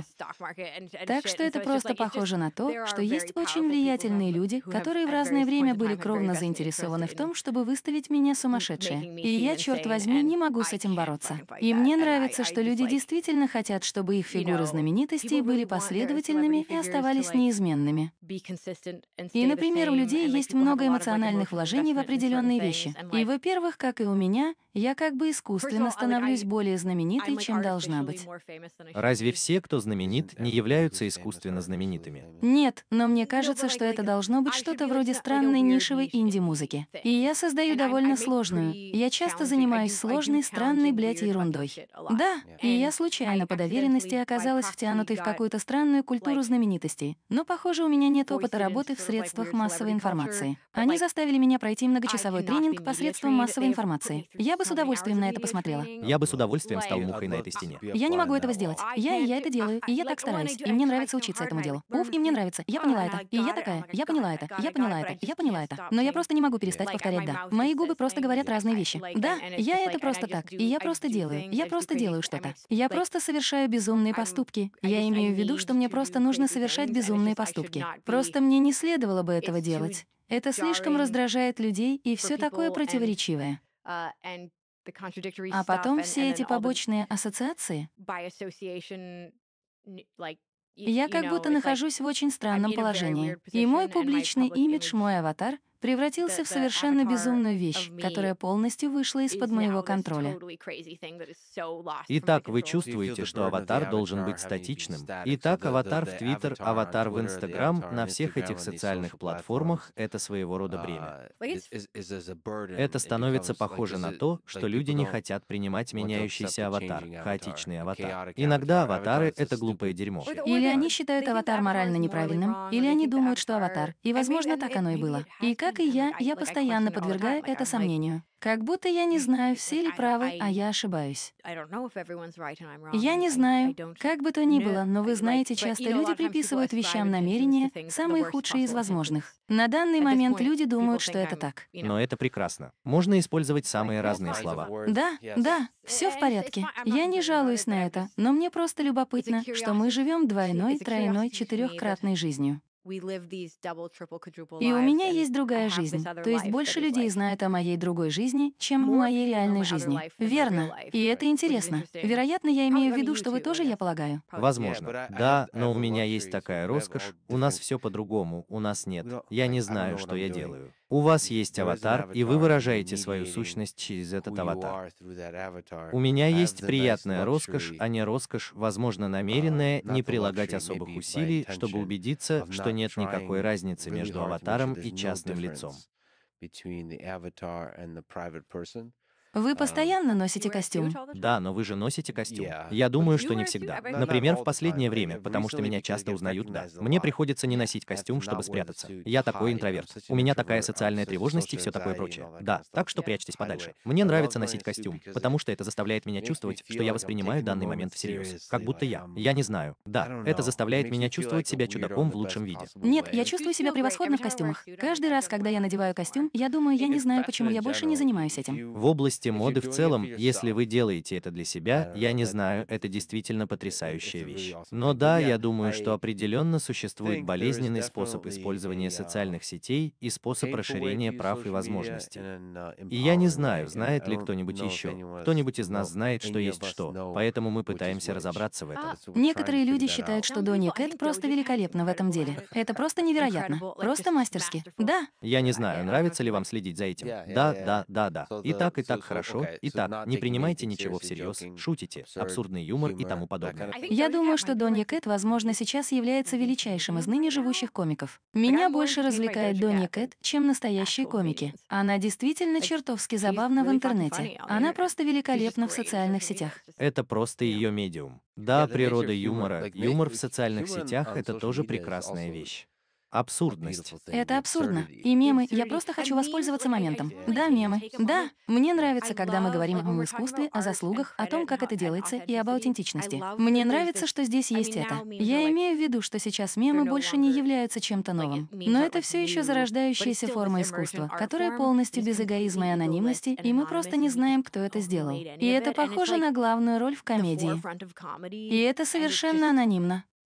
И это просто невероятно красиво. Это просто похоже на прекрасный коллективный проект человеческого искусства, который представляет собой децентрализованную комедийную штуку, благодаря которой мемы так сильно дополняют мой день и дни многих людей. И это похоже на то, что я не знаю. Я не думаю, что люди когда-либо. Я не думаю, что мы достаточно часто останавливаемся и просто осознаем, насколько отвратительно существование мемов. Да, и еще потому, что в современную эпоху создается совершенно новый вид искусства, которого раньше не существовало. Я имею в виду, что они вроде как существовали, но так, как они существуют сейчас. Вот так, я и мои друзья. Мы шутим, что мы занимаемся добычей полезных ископаемых для мемов или фермерством, фермерством для мемов, как в видеоигре. И, например, торговцы мемами и тому подобное. Как будто это, ну вы знаете, это целое. Мемы — это целое как новый комедийный язык. Ну что же, это такая форма искусства. Самое интересное в этом заключается в том, что неудачники, похоже, не очень хорошо разбираются в мемах. Например, корпорации не могут внедриться в мемы. Да, они действительно не могут этого сделать. Они могут попытаться. Они пытаются. Но это как-то странно, потому что они так стараются. И время от времени я говорю себе, отлично, у тебя получилось. Мне кажется, я видела одну или две хорошие фотографии. Но, похоже, да, они действительно не могут этого сделать. Потому что они квиты. Корпорация проникает в Web3. Мне действительно грустно от этого этого. Да, но они не могут проникнуть в мемы. И я думаю, что в этом есть что-то действительно прекрасное. Это придает нам силу.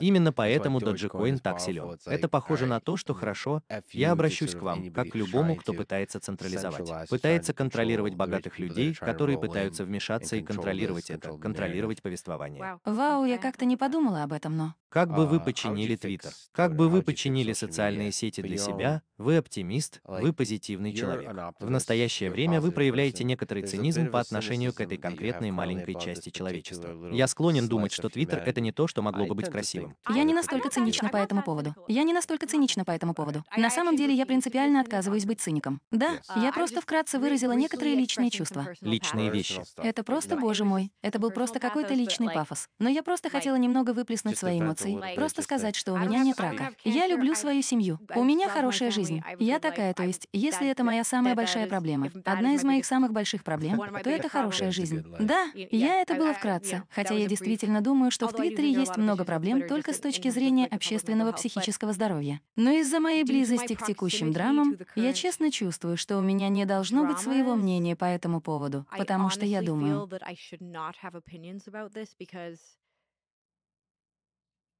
I think Если Илон в конечном итоге получит Твиттер, то есть будет арбитром истины или публичного обсуждения, это не моя ответственность, а моя. Я недостаточно квалифицирована, чтобы нести за это ответственность.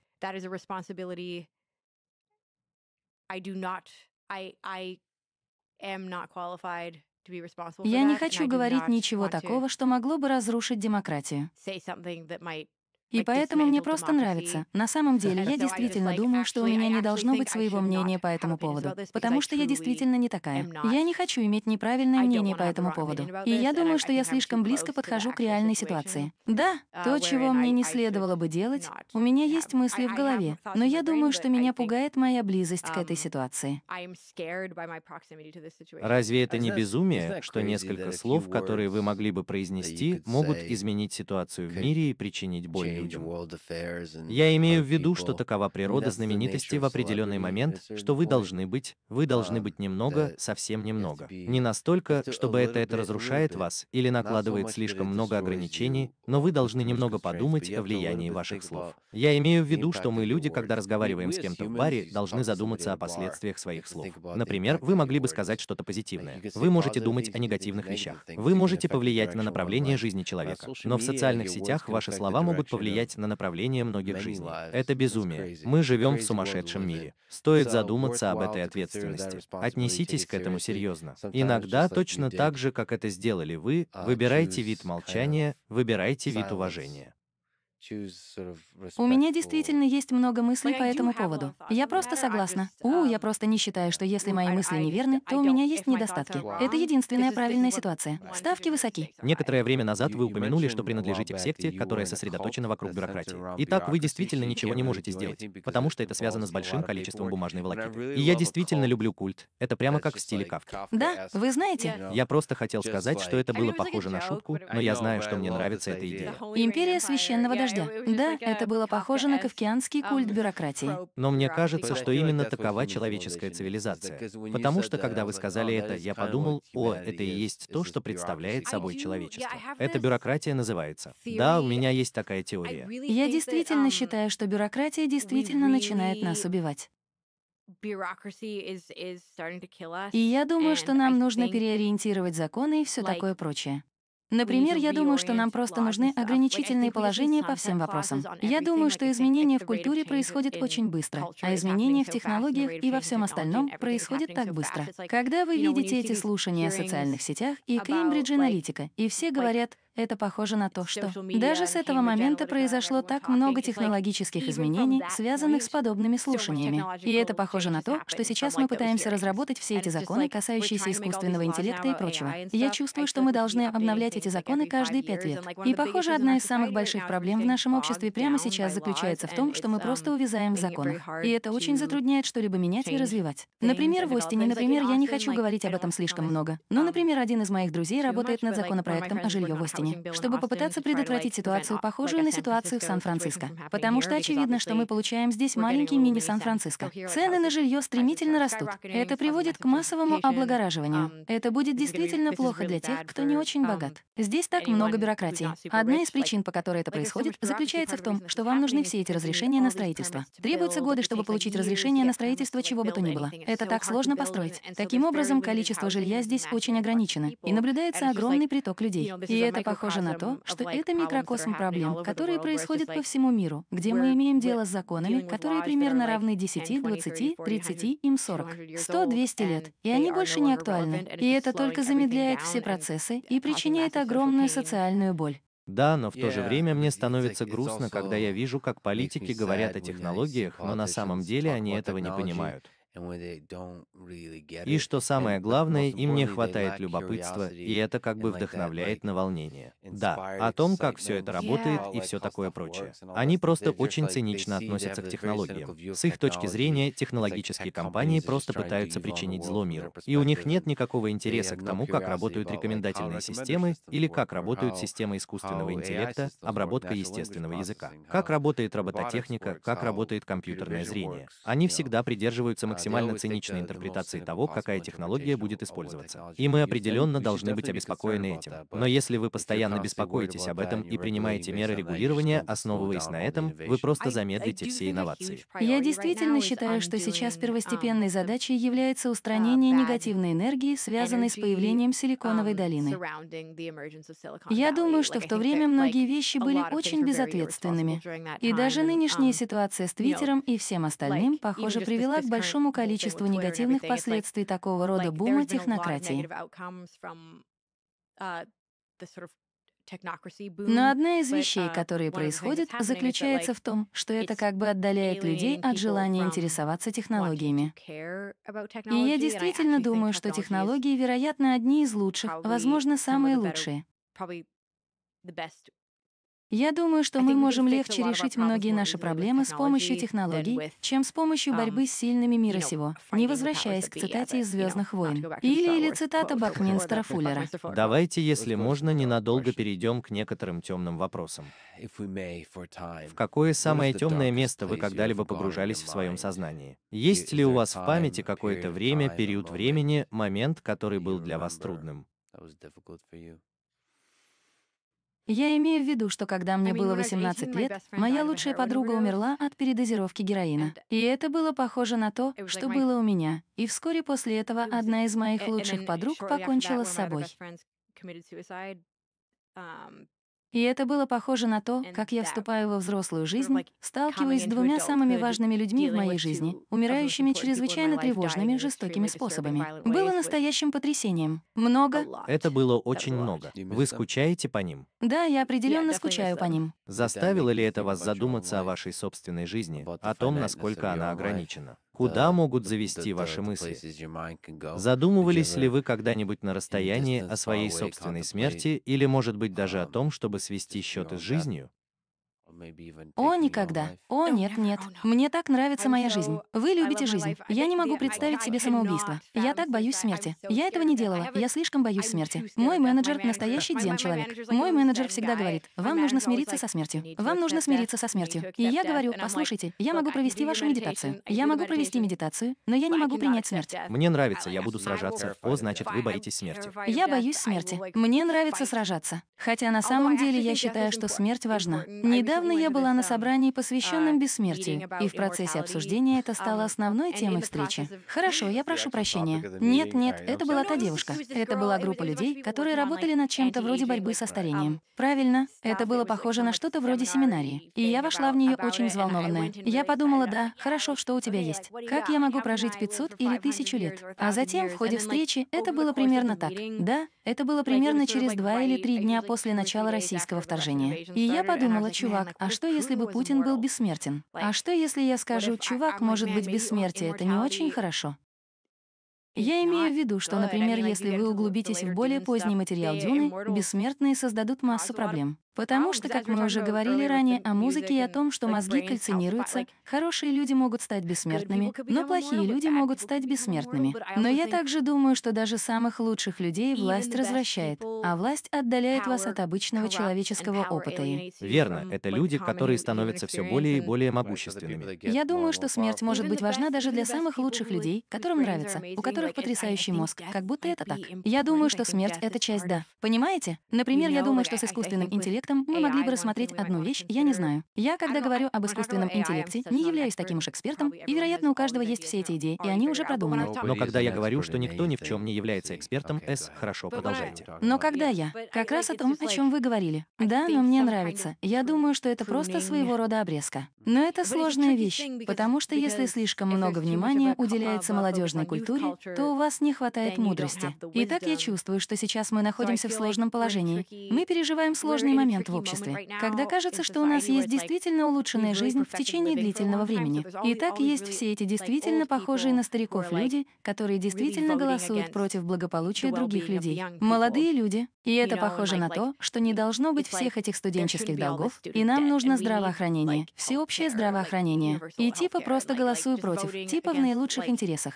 Но тогда у вас есть все эти молодые люди, которым не хватает мудрости, которые говорят, да, нам нужен коммунизм и все такое. И это просто похоже на то, что буквально в какой-то момент меня отменили из-за того, что я, по иронии судьбы, использовал цитату из Сталина в своем школьном ежегоднике. Но на самом деле это было похоже на дисквалификацию против моей старшей школы. Да, я это видела. Да, и люди говорили, раньше ты был сталинистом, а теперь ты классовый предатель. И это было похоже на то, что это было похоже на то, что, о, чувак, просто похоже на то, что да. Пожалуйста, загуглите Сталин. Да, пожалуйста, загуглите Сталин. Как будто вы, да, игнорируете его уроки истории, да. Похоже, что мы находимся в действительно странной ситуации, когда мы не можем найти золотую середину между мудростью и свежими идеями, и они борются друг с другом.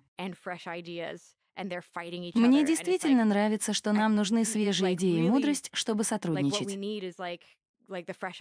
Да, и это похоже на... Ну, в некотором смысле борьба — это поиск золотой середины. И в некотором смысле, возможно, мы находим золотую середину. Возможно, именно так выглядит золотая середина. И в системах искусственного интеллекта должно быть обучение с подкреплением. У вас есть танец между исследованием и эксплуатацией, своего рода безумие. Материал, чтобы посмотреть, есть ли что-нибудь получше. Выберите то, что вы считаете оптимальным, а затем делайте то, что оптимально, и отталкивайтесь от этого. Вы могли бы, Стюарт Рассел, я не знаю, знаете ли вы, кто это такой, такой специалист по искусственному интеллекту, который думает о том, как управлять сверхразумными системами искусственного интеллекта. И его идея заключается в том, что мы должны привнести неопределенности своего рода смирения в системы искусственного интеллекта, чтобы они никогда, как они становясь все мудрее и мудрее и мудрее и умнее, они никогда не бывают по-настоящему уверены. Они всегда сомневаются в себе. И в каком-то смысле, когда вы думаете о молодых людях, это механизм возникновения сомнений. Это похоже на то, как общество сомневается в том, является ли то, к чему оно пришло, правильным правильным ответом. Итак, голоса молодых людей — это общество, задающее себе вопрос.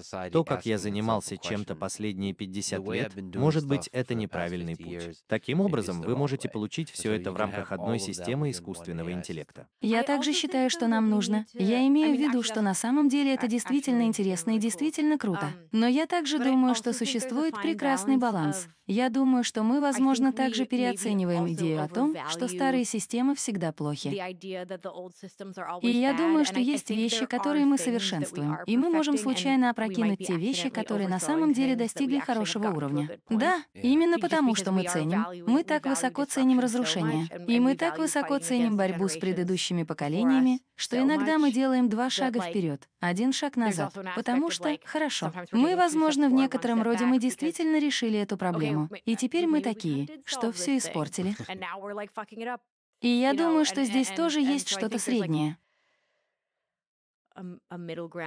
Да, мы ищем золотую середину. Позвольте мне задать вам несколько безумных вопросов, хорошо? Хорошо. Вы можете ответить на них коротко или пространно. Какой самый страшный поступок вы когда-либо совершали? Эти вопросы будут просто смешными. Что-то маленькое или что-то большое? Прыжки с парашютом или гастроли? Ваша первая запись будет включена в этот подкаст. У меня было два сумасшедших столкновения, по-настоящему страшных столкновения со смертью, в которых я случайно осталась невредимой. Но я не знаю, стоит ли мне рассказывать об этом здесь. Ну, я не знаю. Но тем не менее, я думаю, что, возможно, я самый счастливый человек на свете. Хотя, возможно, это слишком мрачно для подкаста. Я не уверена, что это хороший контент для подкаста. Я не знаю, что это за хороший контент, который он может захватить. Вот более безопасный контент. Я имею в виду, что рождение ребенка действительно напугало меня. Да, во время, после. Просто процесс рождения. Операция просто рождения ребенка — это действительно страшно. Значит, это просто медицинский аспект, а не ответственность. Были ли вы готовы к ответственности? Не так ли? Были ли вы готовы стать матерью? Все те прекрасные вещи, которые сопровождают материнство, о которых вы говорили, все перемены и все такое. Были ли вы готовы к этому? Были ли вы, чувствовали ли вы себя готовыми к этому? Нет, я думаю, что потребовалось около 9 месяцев, чтобы начать готовиться к этому. И я все больше готовлюсь к этому, потому что теперь вы продолжаете осознавать все больше вещей по мере их появления, по мере роста сознания. Да, и то, чего вы не заметили в первом фильме, теперь, когда вы увидели, что первый фильм старше, вы замечаете это больше. Что-то вроде экзистенциального ужаса от того, что приходишь в сознание с малышкой Уай или малышкой Сейлор Марс или кем-то еще. На данный момент у нее так много имен, что, вероятно, нам действительно нужно остановиться на одном. Если бы вы могли на один день стать кем-то другим, кем-то, кто живет сегодня, но с кем вы еще не встречались, кем бы вы были? Могу ли я моделировать состояние их мозга? Или я просто буду находиться в их теле? Вы можете выбрать степень, в которой вы моделируете состояние их мозга. Потому что, чтобы вы все еще могли взглянуть на ситуацию с точки зрения третьего лица и осознать, вы должны осознать, что вы можете быть живы или мертвы. Нет, о, если бы это был кто-нибудь из вас, они были бы возвращены к жизни. Верно, если бы они были мертвы. Да, да, вы можете вернуть людей к жизни, как Гитлера или Сталина. Да, я хочу понять, что такое зло. Кто бы вы ни были, вам нужно было бы, о, испытать, на что это похоже. Я хочу проникнуть в их мозг и почувствовать то, что чувствуют они. Я тот, кто может изменить вас навсегда, вернувшись из этого состояния. Да, но я думаю, что это также помогло бы мне понять, как это предотвратить и исправить. Возможно, это одна из тех вещей, осознание которых, как только вы это испытаете, станет для вас тяжелым бременем. Потому что вы не сможете перенести это, да? Но многие вещи являются бременем. Но это полезная нагрузка. Но это полезная нагрузка, да. Да. Это точно. Я хочу понять зло, психопатию, все такое. Да, у меня есть все эти поддельные аккаунты в Твиттере, где мне нравится заходить в различные алгоритмические пузыри, чтобы попытаться понравиться и понять. Это потрясающе. Я продолжу ссориться с людьми и пойму, что на самом деле мы не ссоримся. Я думаю, что раньше мы существовали в монокультуре, до появления социальных сетей и прочего. Нас всех кормили одним и тем же, так что мы все говорили на одном культурном языке. Но я думаю, что в последнее время одна из вещей, которую мы недостаточно хорошо диагностируем с помощью социальных сетей, заключается в том, что существуют разные диалекты. Существует так много разных диалектов китайского языка. В настоящее время появляются различные диалекты английского языка. Я начинаю понимать, что есть люди, которые говорят совершенно одни и те же вещи, но используют совершенно разные словосочетания. И мы как бы наказываем друг друга за неправильное использование словосочетаний. И мы совершенно неправильно понимаем друг друга. Люди просто не понимают, что говорят другие люди. Я только что поссорилась с другом по поводу анархизма, коммунизма и прочего дерьма примерно на два часа. А потом к концу разговора она что-то сказала, и я подумала, ну это буквально то, что я говорю. И она спросила, что-что. А потом, а потом я подумала, черт возьми, у нас есть по-другому, я думаю, наш английский, то, как мы понимаем терминологию, кардинально отличается. Наши пузырьки алгоритмов создают мини-диалекты и... О том, как интерпретируется язык, о том, как он используется. Это так увлекательно. И вот мы как бы вступаем в спор, в котором нет необходимости. И происходит поляризация коммуникация, которая не обязательно должна происходить, потому что у нас есть такие, как бы созданные алгоритмом диалекты.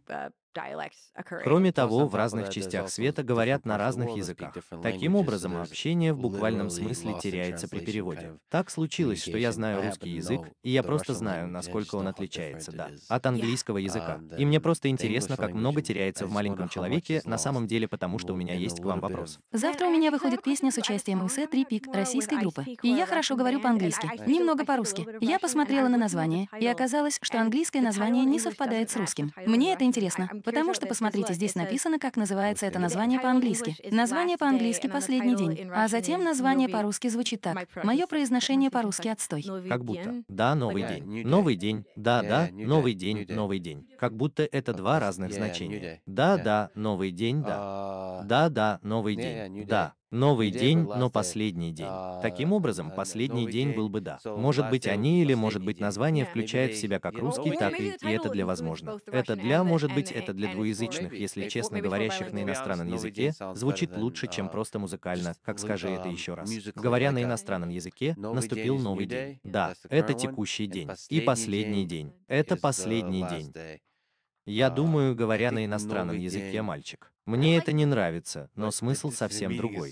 Да, да. На самом деле это просто потрясающе. В этом есть явный контраст. Если бы все люди на Земле исчезли и остался бы только вы, как бы выглядел ваш день? Например, что бы вы сделали? Все мертвы, насколько вы понимаете, там есть трупы? Нет, серьезно, это очень важно. Дайте мне хорошенько все обдумать. Это большая разница, если там просто поют птицы, по сравнению с трупами, усеивающими улицу. Да, здесь повсюду трупы. Мне очень жаль. Это так, и вы на самом деле не знаете, что произошло, и вы не знаете, почему вы выжили, и вы даже не знаете, есть ли там другие люди. Но кажется очевидным, что все это ушло. Что бы вы сделали? Что бы я сделал? Послушайте, я тот, кто действительно наслаждается моментом, наслаждается жизнью. Я бы просто продолжал наслаждаться неодушевленными предметами. Я бы просто искал пищу, uh, чтобы выжить. Но в основном я просто... Послушайте, когда я просто гуляю и смотрю на улицу, я просто счастлив, что мы существуем на этой планете, чтобы иметь возможность дышать воздухом.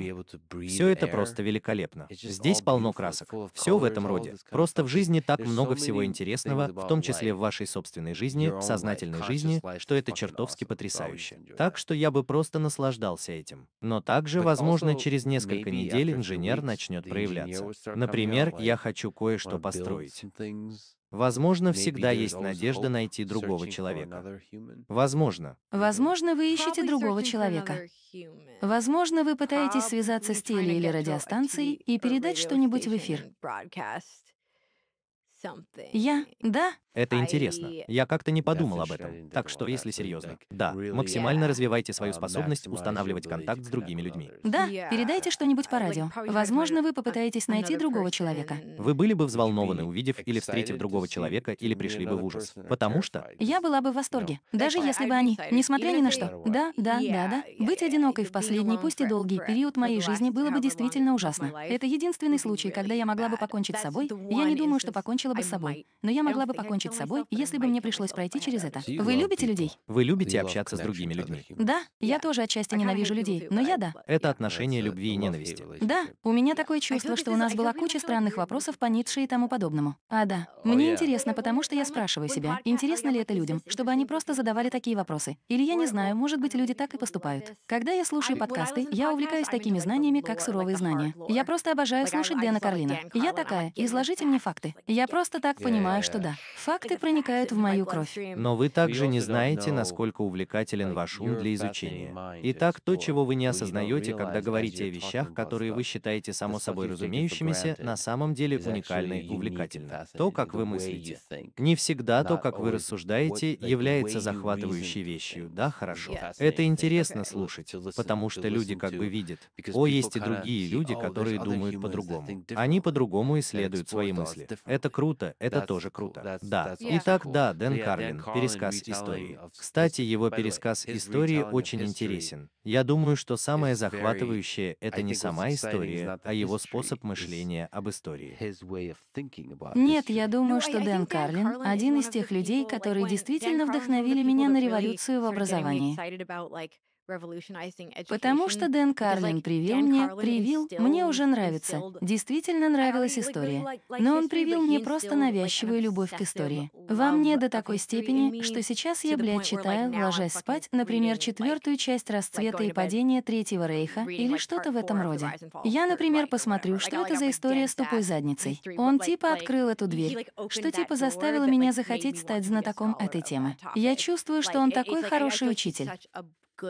Ему просто нравится и это заставило меня почувствовать, что одна из вещей, которые мы могли бы сделать с образованием, это найти таких замечательных учителей, которым нравится создавать страсть к темам. Потому что это аутодидактизм. Я не знаю, как правильно это выразить. Но как и самообучение, происходит намного быстрее, чем когда тебе читают лекции. Например, гораздо эффективнее иметь возможность обучать себя, а затем задавать вопросы учителю, когда ты этого не делаешь. Я знаю, в чем дело. Ну, например, именно поэтому это похоже на университет и все такое. Как будто вы можете выучить гораздо больше материала, так много быстрее, потому что вы делаете большую часть обучения самостоятельно и обращаетесь к учителям, когда у вас возникают проблемы. Но как и эти учителя, которые могут вдохновить на увлеченность какой-либо темой, я считаю, что это один из самых бесценных навыков для всего нашего вида. Например, потому что если вы можете это сделать, то вы — это похоже на искусственный интеллект, который будет обучать сам себя гораздо эффективнее, чем мы можем научить этому. Нам просто нужно довести его до такой степени, чтобы он мог сам себя обучать. А затем он находит мотивацию для этого. Верно, да. Так что, похоже, вы вдохновляете его на это. Да, и тогда он мог бы, он мог бы научиться сам себе. Что вы думаете о том факте, что вы упомянули расцвет и падение Третьего Рейха? Я просто. Вы читали это? Прочтите это дважды. Вы прочитали это дважды? Да, хорошо, потому что никто даже не знает, что это такое. Да, и я подумала, что это просто потрясающая книга. Это просто супер. Я не такая, это классика. Я не так уж далеко продвинулась в этом, но это так, это так интересно. Да, это написано человеком, который был там. И это очень важно для того, чтобы понять, что вы начинаете задаваться вопросом, как это могло случиться. А потом, когда вы читаете читаете «Расцвет» и «Падение Третьего Рейха», возникает ощущение, что люди очень старались, чтобы этого не произошло. Люди пытались. В какой-то момент они почти восстановили монархию, пытаясь предотвратить это. Они почти отказались от демократии, чтобы этого не произошло.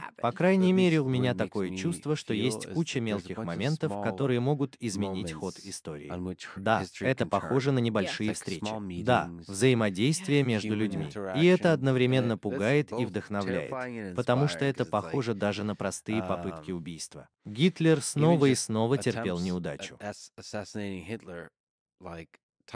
И они были так близки. Это было похоже на операцию «Валькирия»? Угу, это так вкусно, тьфу. И кроме того, это действительно тяжелая ноша, которая заключается в том, что с геополитической точки зрения роль лидеров заключается в том, чтобы увидеть зло до того, как оно действительно станет злом, предвидеть его и противостоять ему. Зло. Потому что зло на самом деле довольно редко встречается в этом мире, особенно в таких масштабах, как у Гитлера. В современном дискурсе мы склонны называть людей злом слишком поспешно, но если вы посмотрите на древнюю историю, то увидите, что Гитлеров было множество. Я на самом деле считаю, что это скорее норма, чем что-то вроде возвращения к моей теории разумного замысла. Я думаю, что одна из вещей, которую мы успешно делаем на нашем медленном пути от выживания наиболее приспособленных к разумному замыслу, заключается в том, что мы как бы искореняем. Например, если вы посмотрите на древнюю Ассирию и все такое прочее, то увидите, что это дерьмо было таким жестоким. И точно так же, как и головы на голове, жестоким. Как Чингисхан, точно так же, как геноцид после геноцида после геноцида. Есть что-то вроде того, как тела чумных людей перебрасывают через стены и уничтожают целые города. Или что-то вроде мусульманских завоеваний Дамаска и прочего дерьма. Люди раньше города постоянно сравняли с землей. Хорошо, давайте перейдем к коллапсу бронзового века. По сути, там было общество почти римского уровня. По всему миру существовала глобальная торговля. Все было потрясающе. Благодаря сочетанию, я думаю, небольшого изменения климата, а затем развития производства железа. Потому что, по сути, бронза могла появиться только благодаря этому способу изготовления бронзы. Все должно было проходить через эту единственную иранскую шахту. Получается, что существовала только одна цепочка поставок. И это одна из причин, которая заставляет меня беспокоиться о цепочках поставок. И почему я считаю, что мы должны быть так внимательны к этому вопросу. Я думаю, что наша самая большая проблема с обществом прямо сейчас, например, то, что, скорее всего, пойдет не так, это, вероятно, коллапс цепочки поставок, понимаете? Потому что война, изменение климата, что угодно, все, что приводит к коллапсу цепочки поставок, наше население слишком велико, чтобы справиться с этим. И вот еще что, похоже, вызывает темные века. Это массовый коллапс цепочки поставок. Но это интересно. Произошел коллапс бронзового века. Это было что-то вроде древнего коллапса, который произошел, когда буквально древний Египет, все эти города, все просто было уничтожено. Разрушенные заброшенные города. Их там сотни. Это было процветающее общество. Мы почти достигли современности, и все выровнялось. И у них было это мини-средневековье. Но это было просто похоже на то, что с того времени сохранилось так мало письменных свидетельств, что, похоже, не так уж много информации о коллапсе бронзового века. Но, по сути, это было равносильно средневековью, средневековым темным векам. Но это только что произошло. Я не собираюсь. Я не знаю, сколько лет прошло, но как будто тысячи лет назад. А потом мы вроде как оправились оправились от краха бронзового века. Империя восстановилась, письменность, торговля и все остальное восстановилось. А затем у нас, конечно же, наступили более современные темные века. А затем, с течением времени, мы разработали механизм, который уменьшает разрушительные возможности, связанные с появлением центров силы. Да, есть еще записи о более современных темных веках, так что я думаю, у нас есть лучшее понимание того, как этого избежать. Но я по-прежнему считаю, что мы подвержены высокому риску этого. Я думаю, что это один из самых серьезных рисков прямо сейчас. Таким образом, естественное состояние человеческого существования заключается в том, что Гитлеров должно быть много. Мы только что достигли больших успехов в создании препятствий для их появления. Мы стали лучше сотрудничать. Да, и противостоять силам, стремящимся к власти авторитаристам. Мы пытаемся исследовать страну за страной. Похоже, мы преодолеваем это. Мы как бы медленно, постепенно движемся к тому, чтобы стать не страшными, а олдскульными военными вещами. И я думаю, что видеть, как это происходит в некоторых странах, которые, по крайней мере, номинально должны были пройти через это, это пугает. Потому что это напоминает нам о том, что это может случиться. Например, в тех местах, которые были сделаны, например, перемещены, предположительно так же, как, надеюсь, прошли мимо этого. И, возможно, на уровне цивилизации, как вы сказали, коллапс цепочки поставок может привести к ограничению ресурсов людей. Может привести к отчаянию, гневу, ненависти, насилию и снова втянуть нас в это. Я имею в виду, что коллапс цепочки поставок — это то, как в конечном итоге Средневековье привело к коллапсу цепочки поставок. Это похоже на людей, потому что люди зависели от определенного уровня технологий. Люди, вы посмотрите на Британию, у них было стекло, у людей были акведуки, у людей были, например, обогрев и охлаждение помещений, и, например, водопровод, и, например, покупка продуктов питания со всего мира и торговля на рынках. Люди, например, не знали, как охотиться, добывать пищу и заниматься собирательством. И поэтому мы находимся в похожей ситуации. Мы недостаточно образованы, чтобы выжить без технологий. Итак, если у нас произойдет коллапс цепочки поставок, который, например, ограничит наш доступ к технологиям, произойдет массовый голод, насилие, перемещение населения и война. Что это значит? Это тоже да. На мой взгляд, это что-то вроде основного признака мрачности, того, что такое темный век. Ну что же, технология в некотором роде позволяет нам быть более устойчивыми с точки зрения цепочки поставок, с точки зрения различных катастрофических событий, которые происходят с нами. Хотя пандемия в некотором роде поставила под сомнение нашу готовность к катастрофическим последствиям. Как вы думаете, какое самое крутое изобретение придумали люди? Колесо, огонь, компьютеры для приготовления мяса, компьютеры. Компьютеры? Долбанные компьютеры. Интернет или компьютеры? Какой из них? Как вы думаете, предыдущие технологии, я имею в виду, возможно, были даже более глубокими и в определенной степени продвинули нас вперед. Но я думаю, что компьютеры — это то, что делает нас людьми техно. Я думаю, что это именно то, что нужно, да? Это увеличение мозга. И таким образом это позволяет реально эволюционировать. Компьютеры ускоряют степень, в которой все другие технологии также могут быть ускорены. Как бы вы отнесли себя к Homo sapiens или Homo techno? Это определенно Homo techno. Итак, вы, я думаю, все мы такие. Вы один из самых ранних представителей этого вида? Я думаю, что большинство из нас таковыми и являются. Как я уже сказала, я думаю, что если бы вы посмотрели на снимки нашего мозга по сравнению с людьми столетней давности, это выглядело бы совсем по-другому. Я думаю, что мы физиологически отличаемся друг от друга. Неужели даже взаимодействие с устройствами изменило наш мозг? И что же, если вы посмотрите на результаты многочисленных исследований, которые показывают, что существует определенная степень наследственной памяти. Таким образом, некоторые из этих физиологических физиологических изменений теоретически должны передаваться нам по наследству. Таким образом, это не тот случай физиологических изменений, который может сойти на нет. Теоретически это должно распространяться и на наше потомство. Говоря о потомстве, какой совет вы бы дали молодому человеку, например, в старшей школе, будь то художник, креативщик, инженер или любой другой карьерный путь?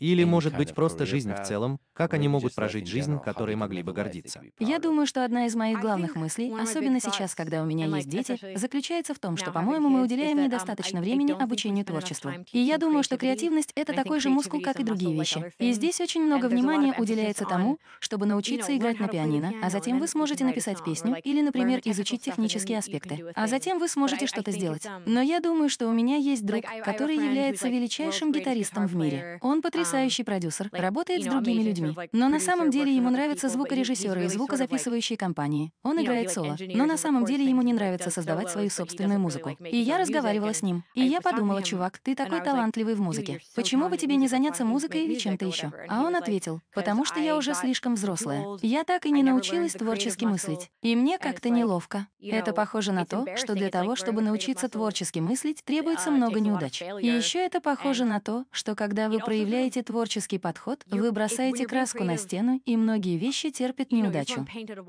Так что отчасти это похоже на терпимость к неудачам и унижениям. И это так или иначе легче развить, когда вы молоды. Да, или вы будете упорствовать в этом, когда вы молоды, все становится легче развиваться. Да, это правда. Когда вы молоды, это правда. Да, и чем моложе, тем лучше. Это может погубить вас. Я имею в виду, что креативность — это темная сторона. Неудача может погубить вас, если вы не будете осторожны, но это риск, на который стоит пойти. Но кроме того, в молодом возрасте важно развивать терпимость к неудачам. Конечно, я постоянно терплю неудачи. Я постоянно совершаю глупости.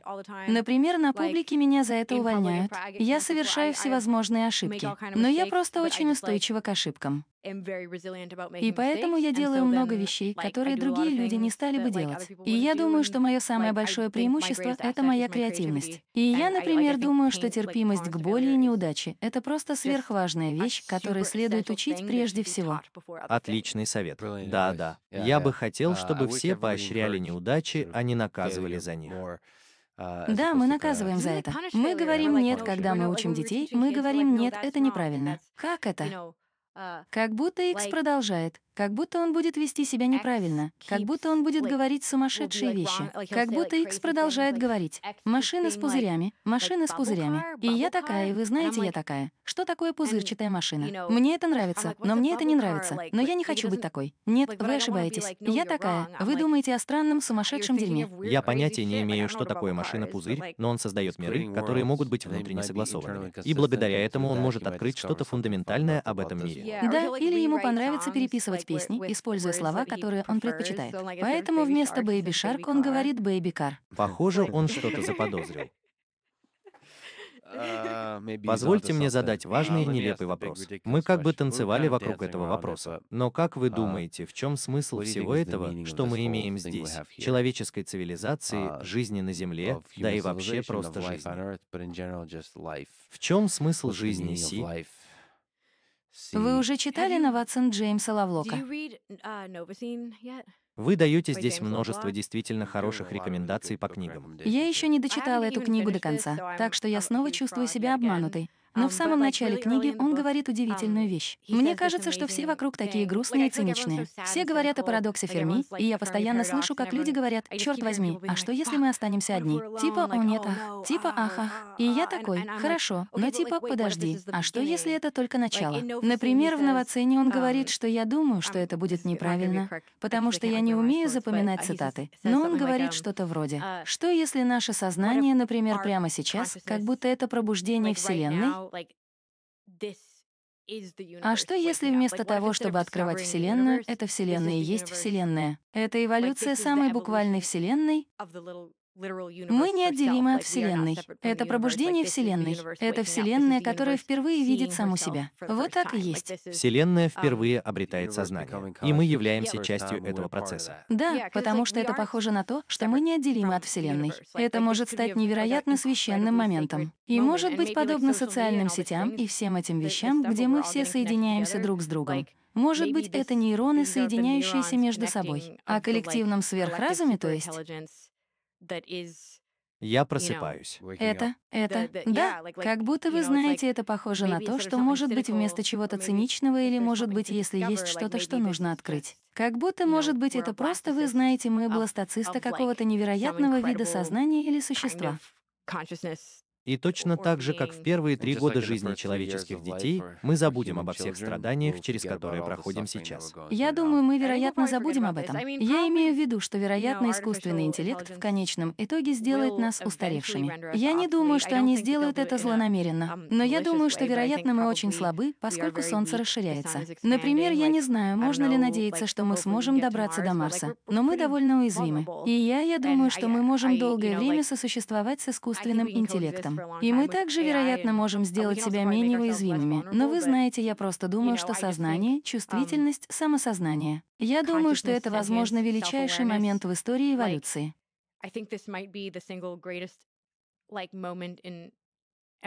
И, возможно, это и есть настоящее начало жизни. А мы всего лишь сине-зеленые водоросли, или вот так. Мы похожи на одноклеточные организмы чего-то удивительного. Вселенная пробуждается. Вот и все. Да. Что же, Си, ты невероятный человек. У тебя поразительный ум. Тебе определенно стоит заняться этим. Твоя подруга Лив упомянула, что вы, ребята, подумывали о том, чтобы поговорить. Мне было бы очень приятно, если бы вы все больше и больше исследовали свой разум в такого рода среде, ведя с ней подкаст или просто любым другим способом. Итак, вы потрясающий человек. Для меня большая честь познакомиться с вами. Для меня большая честь посидеть с вами за одним столом поздно вечером, что просто нереально. И мне это действительно понравилось. Спасибо вам за сегодняшнюю беседу. Да, нет, я имею в виду, это огромная честь для меня. Я чувствую, что не недостаточно квалифицирована, чтобы быть здесь, но я большая фанатка. Я много слушала подкаст. И да, мы с Лив были бы признательны за любой совет и помощь. И мы определенно собираемся это сделать, так что... Да, в любое время. Спасибо вам. Это круто, спасибо вам. Спасибо, что выслушали наш разговор с Граймсом. Чтобы поддержать этот подкаст, пожалуйста, ознакомьтесь с нашими спонсорами в описании. А теперь позвольте мне поделиться с вами несколькими словами Оскара Уайльда. Да, я мечтатель, потому что мечтатель — это тот, кто может найти свой путь только при лунном свете. И ее наказание заключается заключается в том, что она видит рассвет раньше всего остального мира. Спасибо вам за то, что вы слушали, и надеюсь увидеть вас в следующий раз.